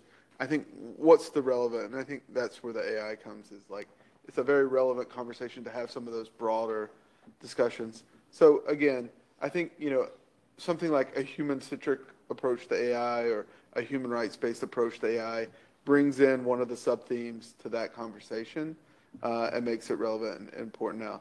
But looking at kind of the other sub-themes, I wonder if there's other opportunities to do that. And, and I'm looking at, you know, we have as a sub-theme digital divides and inclusion. And up at the top, there's, uh, you know, a, a desire to have a session on gender. And I wonder if there's an opportunity there to have a conversation on gender digital divides and promoting digital inclusion, which I think gets to, you know, empowering um, uh, different uh, you know, users, different groups to like be able to access digital technologies and the internet. So, you know, just kind of again trying to to make the main sessions interesting and pertinent and relevant, um, but also aligned with the, the sub themes. I wonder if the gender could be something like gender digital vibe and digital inclusion. I, I, yeah, I mean, I, I know we're uh, kind of repeating. I still think that it's it's a very current topic, but if it's, I'm just trying to help find the uh, the sub themes and uh, align them with what the desires in the room are. Thanks. Just to say, it was a BPF focus a few years ago, gender divides Yeah. and access, and we also had a main session on that. So I'm afraid, like, what, what, I mean, it's not a new issue. It's not going to be solved anytime like soon, but isn't there a new approach on gender discussions um, that we should be taking? Like, if we're so keen on AI, why not AI and bias to both female LGBTQIA K plus um, communities and um, other minorities? Um, we're not having any look upon that, but I mean, it just seems we're going in rounds and not really deciding, and we're still having 16 sessions on AI. Um, I mean, Amrita already stressed out that there are three different sub-themes under the policy network. And I said also before, I suggested that we shouldn't discuss now the, the focus of the AI main session as long as we don't know what is being discussed then in the high level uh, discussion as well as in the policy network. I mean, I think we have to make a decision on whether we keep AI and elaborate on the on the focus uh, uh, um, of the session at a later stage because we can't do it at the moment. Yeah, just a reminder that we have 11 minutes to go before we have to break. And um, it would be good if we can get the uh, areas of focus that we have. We have six at the moment. Is it at all a possibility that we can have five? I beg pardon? Yes, yes. So can we merge one? Can we not? It's, this is just see if, uh, yes, please, Neema. Mm. Um, thank you, Neema Lugangira, MAG member. Um, with all due respect, and I'm fully aligned on the importance of AI, but I still say that to have more than about 13 sessions on AI, I mean, different sessions on AI, uh, policy network on AI, again on the main session of AI. While, yes, AI is, is critical, but it doesn't mean, it, it's, it's as if when, it's like when COVID came, it didn't mean that all other, all other diseases disappeared or they became less important. So we, we have to somehow find consensus. Uh, yes. But we cannot force that AI should have, each and every session should be around AI as it is right now. It seems as if this is turning into an AI, you know, uh, IGF 2023. Thank you. No, uh, thanks, Neema. I do understand where you're coming from. And yes, there's two sides of, of um, looking at it. There's a call for focus. This can be one of our focus points. And of course, there's a call for more diversity. That means having more stuff on the smorgasbord. Is that how you say it?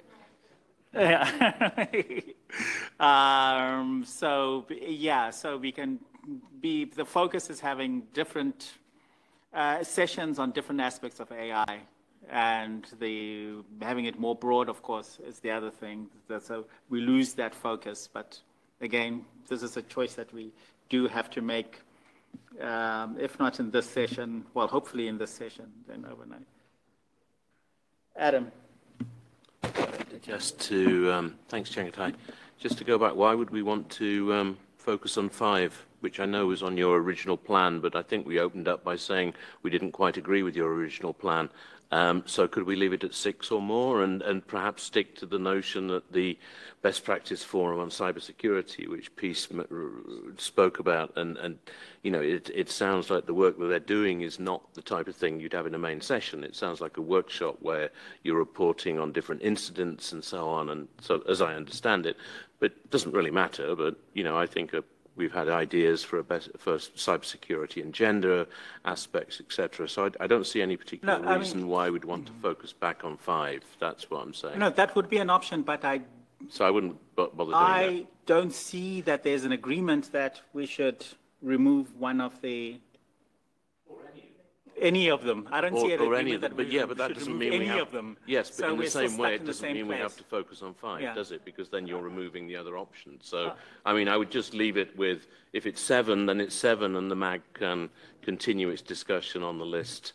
Um, oh, the other request is when we do this, could we not immediately break into subgroups on the main sessions, but keep it in the MAG plenary so that we can have this discussion that moves across the themes so that we can think about what the, you know, where the, the commonalities are and, and where we can sort of feed between the two sessions. Because if we break immediately into sub-mailing lists, we kind of lose any, any synergy. So please let's not do that. Let's please stay with the MAG list as a whole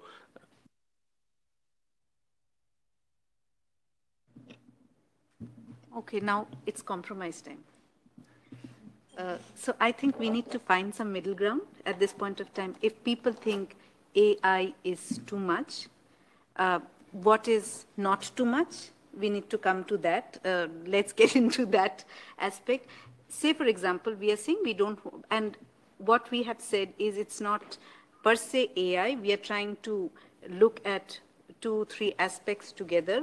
Um, so if we are saying AI is overexposed, um, though personally I do not think because even for a developing country, that's a huge thing coming because AI has been imposed. It is going into your access part, it is going into your disinformation, it's going into all aspects which we do not even understand. Uh, so that's a concern. But if we are saying, okay, we don't want a main session AI, let me give that benefit of doubt uh, at this time. And we are saying, okay, when we are talking about gender, we are bringing in, uh, you know, when we are talking cybersecurity, we are bringing in rights, etc.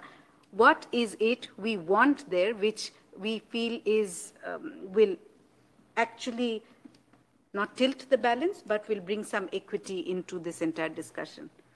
As an, if I may also saying we are removing AI from here because it's overexposed. What is it we want to bring in there, which will kind of um, the issue is not that AI is being discussed. The issue is the impact it has on various aspects. It could be rights, it could be access also. Um, you know, the way you use a device, because mm, as it is mentioned, it's cross-cutting. So uh, even language for non-English speaking people, there is a huge issue out there. When we are talking about access and we want everyone to be connected, the world is not connected.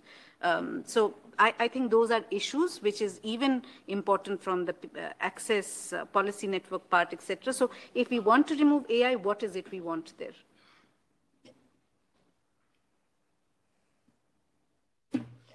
Um, yes, I mean, I, I was thinking of merging six and four, digital governance and GDC, if this would be possible.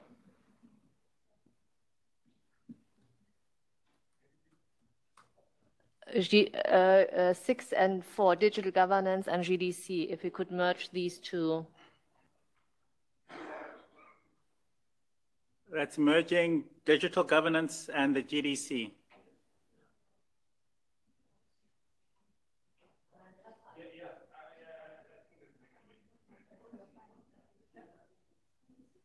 Okay, let's hear what uh, Justin and Bruna has to say, and Chris then. No, just because I think at this point everybody's more or less defending its own points and agenda. Nobody in this room needs to be schooled on the relevance of AI, on how it's the zeitgeist of our like um, spaces or anything of the sort. We all understand it's a relevant issue, and it's probably why we have 13 pre-approved workshops instead of six for sustainability or five for fragmentation. It's already clear in the message um, for everybody here. And I mean, for anyone asking, I'm not a hater on AI. I'm, I just think that turns out we have far more relevant discussions that should be conveyed in the IGF agenda as the global forum it actually is. And on the state of the art of, a lot of AI discussions, there is some sort of um, communities, groups, countries being left out of the conversation, which I don't think we can necessarily mitigate from this space.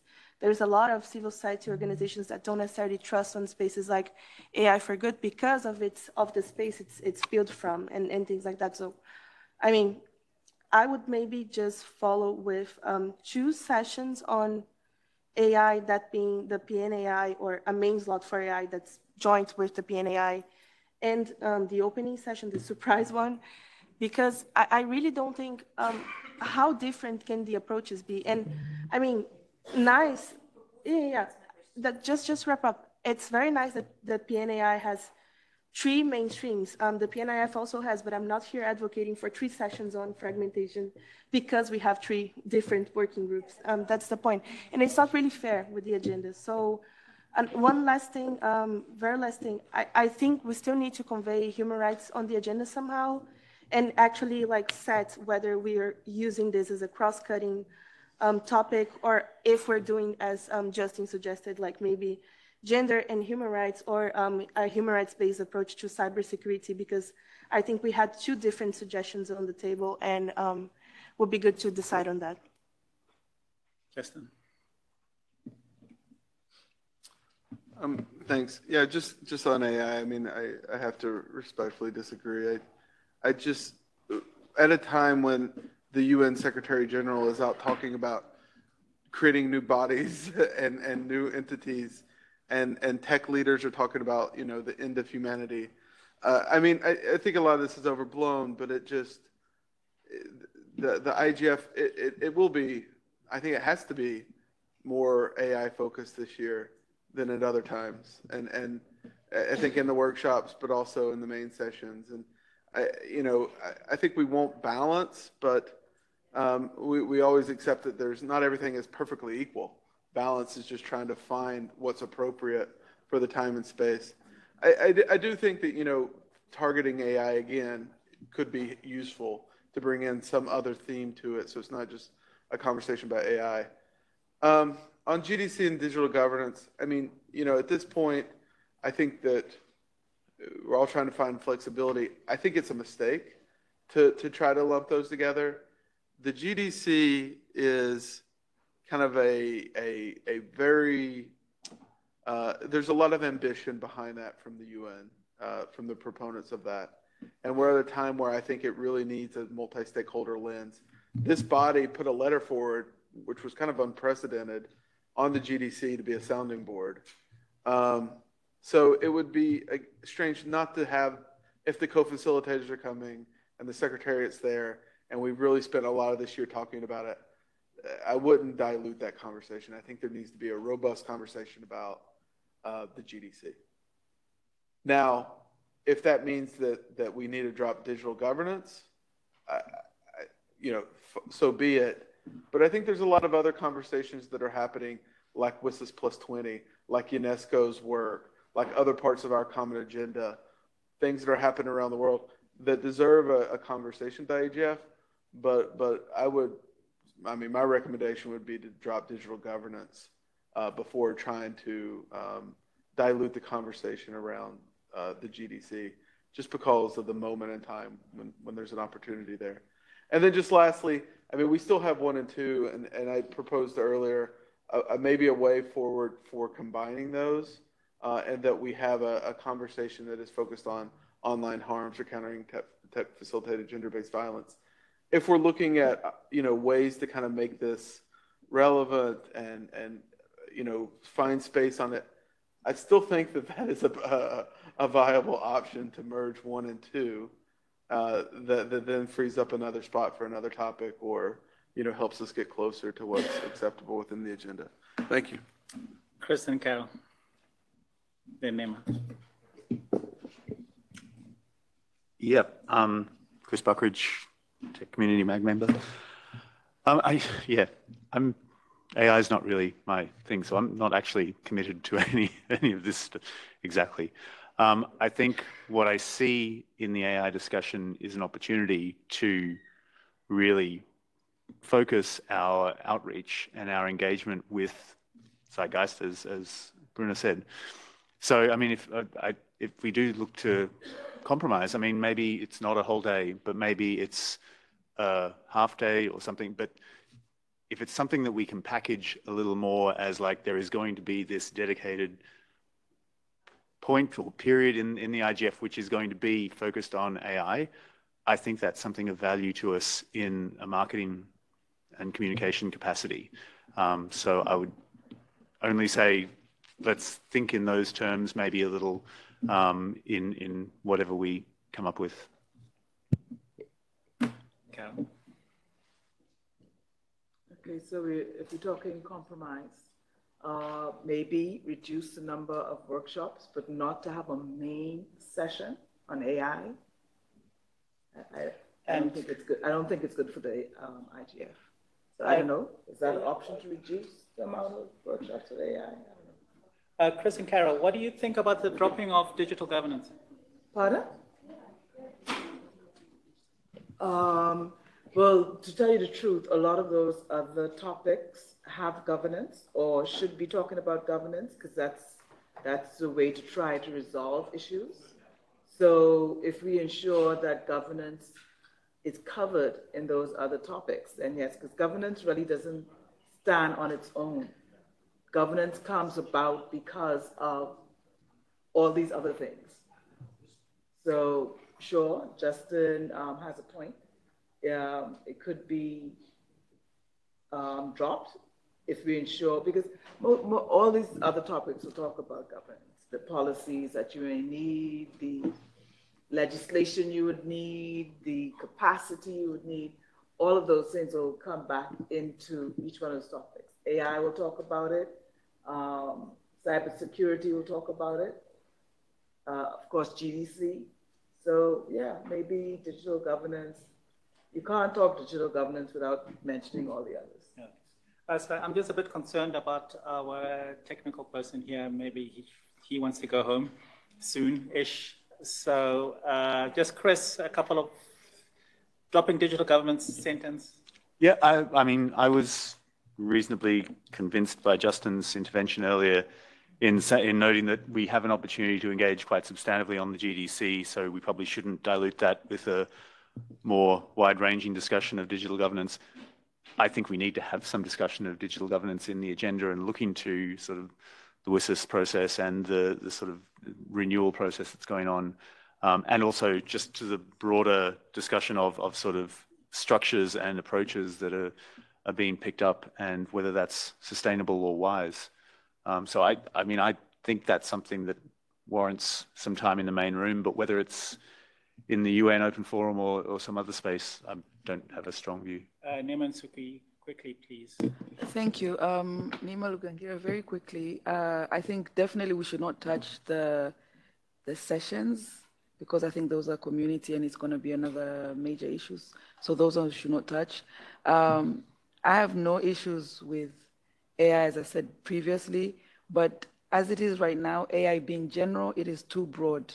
So unless we also have to have a commitment, like when they're saying AI, is it AI ethics, AI and human rights, AI what? But if it just stands as AI, it's going to be very difficult even to structure that main session because AI is a big thing. Yeah, I'm asking. He can he can respond. Okay. They, they can. Yeah, it doesn't matter. And dropping digital governance? No, digital governance should remain. But I still have an issue on, uh, I still Okay. have an issue on AI on how it's going to stay. All right. Yeah, I, I'm I'm for dropping uh, uh, digital uh, governance um, because I think first of all, I mean, you just just said that uh, it's also about not internet um, internet governance but digital governance maybe in future. So it's an overall topic. And on the other side, I mean, uh, on the other hand, I mean, we have GDC. It's so much related. I can understand why Justin proposed to keep it as it is. Uh, uh, but I think that all the digital governance discussions that we are going to have will be very much linked to GDC discussions. So that's why I'm I'm with uh, Justin and for dropping digital governance. Bruna?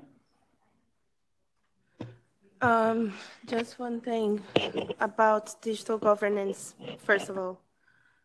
The digital governance discussion we envisioned was not just about GDC. I think GDC deserves its own slot. Um, we all agreed that some sort of a space for a broader community discussion on the issues paper and whatever else is going to become of the Summit of the Future might be important because we have our proposal. Putting that aside, um, we have agreed like a lot of months ago on a broader session on governance that would address CSTD, WSIS plus 20, ITU, the future of the IGF, and the GDC, and how all of this process coming together. I don't think this is the year for us to drop this discussion. I mean, I can compromise on not talking about gender for next year, but instead of, in order to secure this one, because I, I really think it's it's kind of the make it or break it year. Um, the last is one and the next one, as in kind of a core group of um, a, a time like period for us to discuss this. Um, secondly, I don't think we're ready to commit on these topics. Um, maybe we can leave it, um, we can sleep on it, um, this list, the provisional list that we have right now, and see if from today until tomorrow, the AI folks can suggest different approaches to it because in my mind right now, I still have doubts about on, I mean, I have um, Amrita's suggestion, but it would still be worth like kind of like um, fine tuning what are the AI sessions as well as this the cybersecurity one, as well as the gender. So we might have some homework to do from today until tomorrow. So just because I, I don't think we're really ready to decide. Yes, please. Say your name again, please. I keep, I keep Bram. Bram, yes. Oh, because it's so close to Bruna. Uh, so, sorry. Yeah. Ah, okay. sorry. It's just that I'm wondering why I'm getting this lock, gridlock. Yeah, VR. Yeah.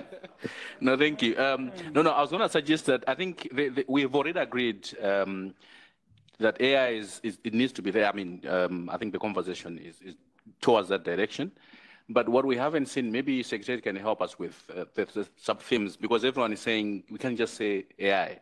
So there are a lot of suggestions, even in the, in the chat room. Can we maybe list them down and then choose from those uh, sort of topics? Even cybersecurity.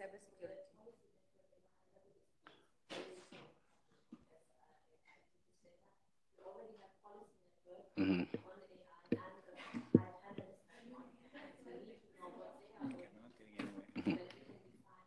We're not getting anywhere. No, as in, So then- for clarity of others,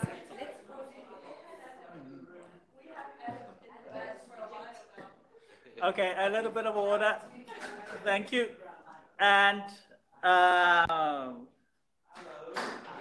Adam, please make it very, very short. Yeah, because I've been had my flag up for about the last 10 minutes, and I will get a flag on from tomorrow. It's fine. I'll move to the front. Um, I just wanted to say that we, we, we ought to not forget aspects of data governance and trust, um, uh, and just to think about these issues. I don't think we have to you know, wed ourselves to these six, it can be eight.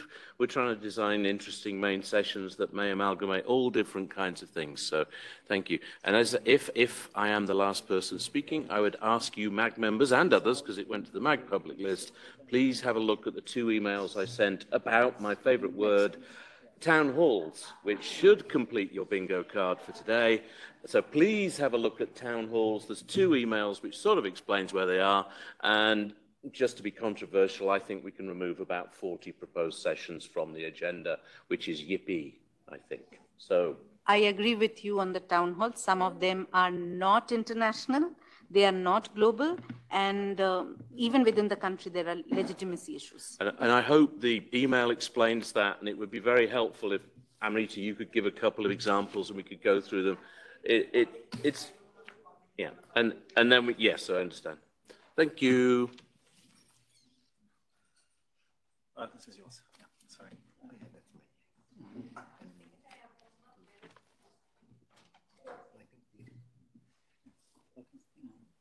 See, we have the same color.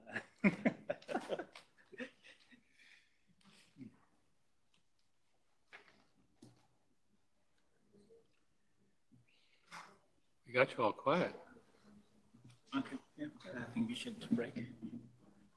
So I think, I think there's been a lot of discussion. I think now the time people need to sleep on it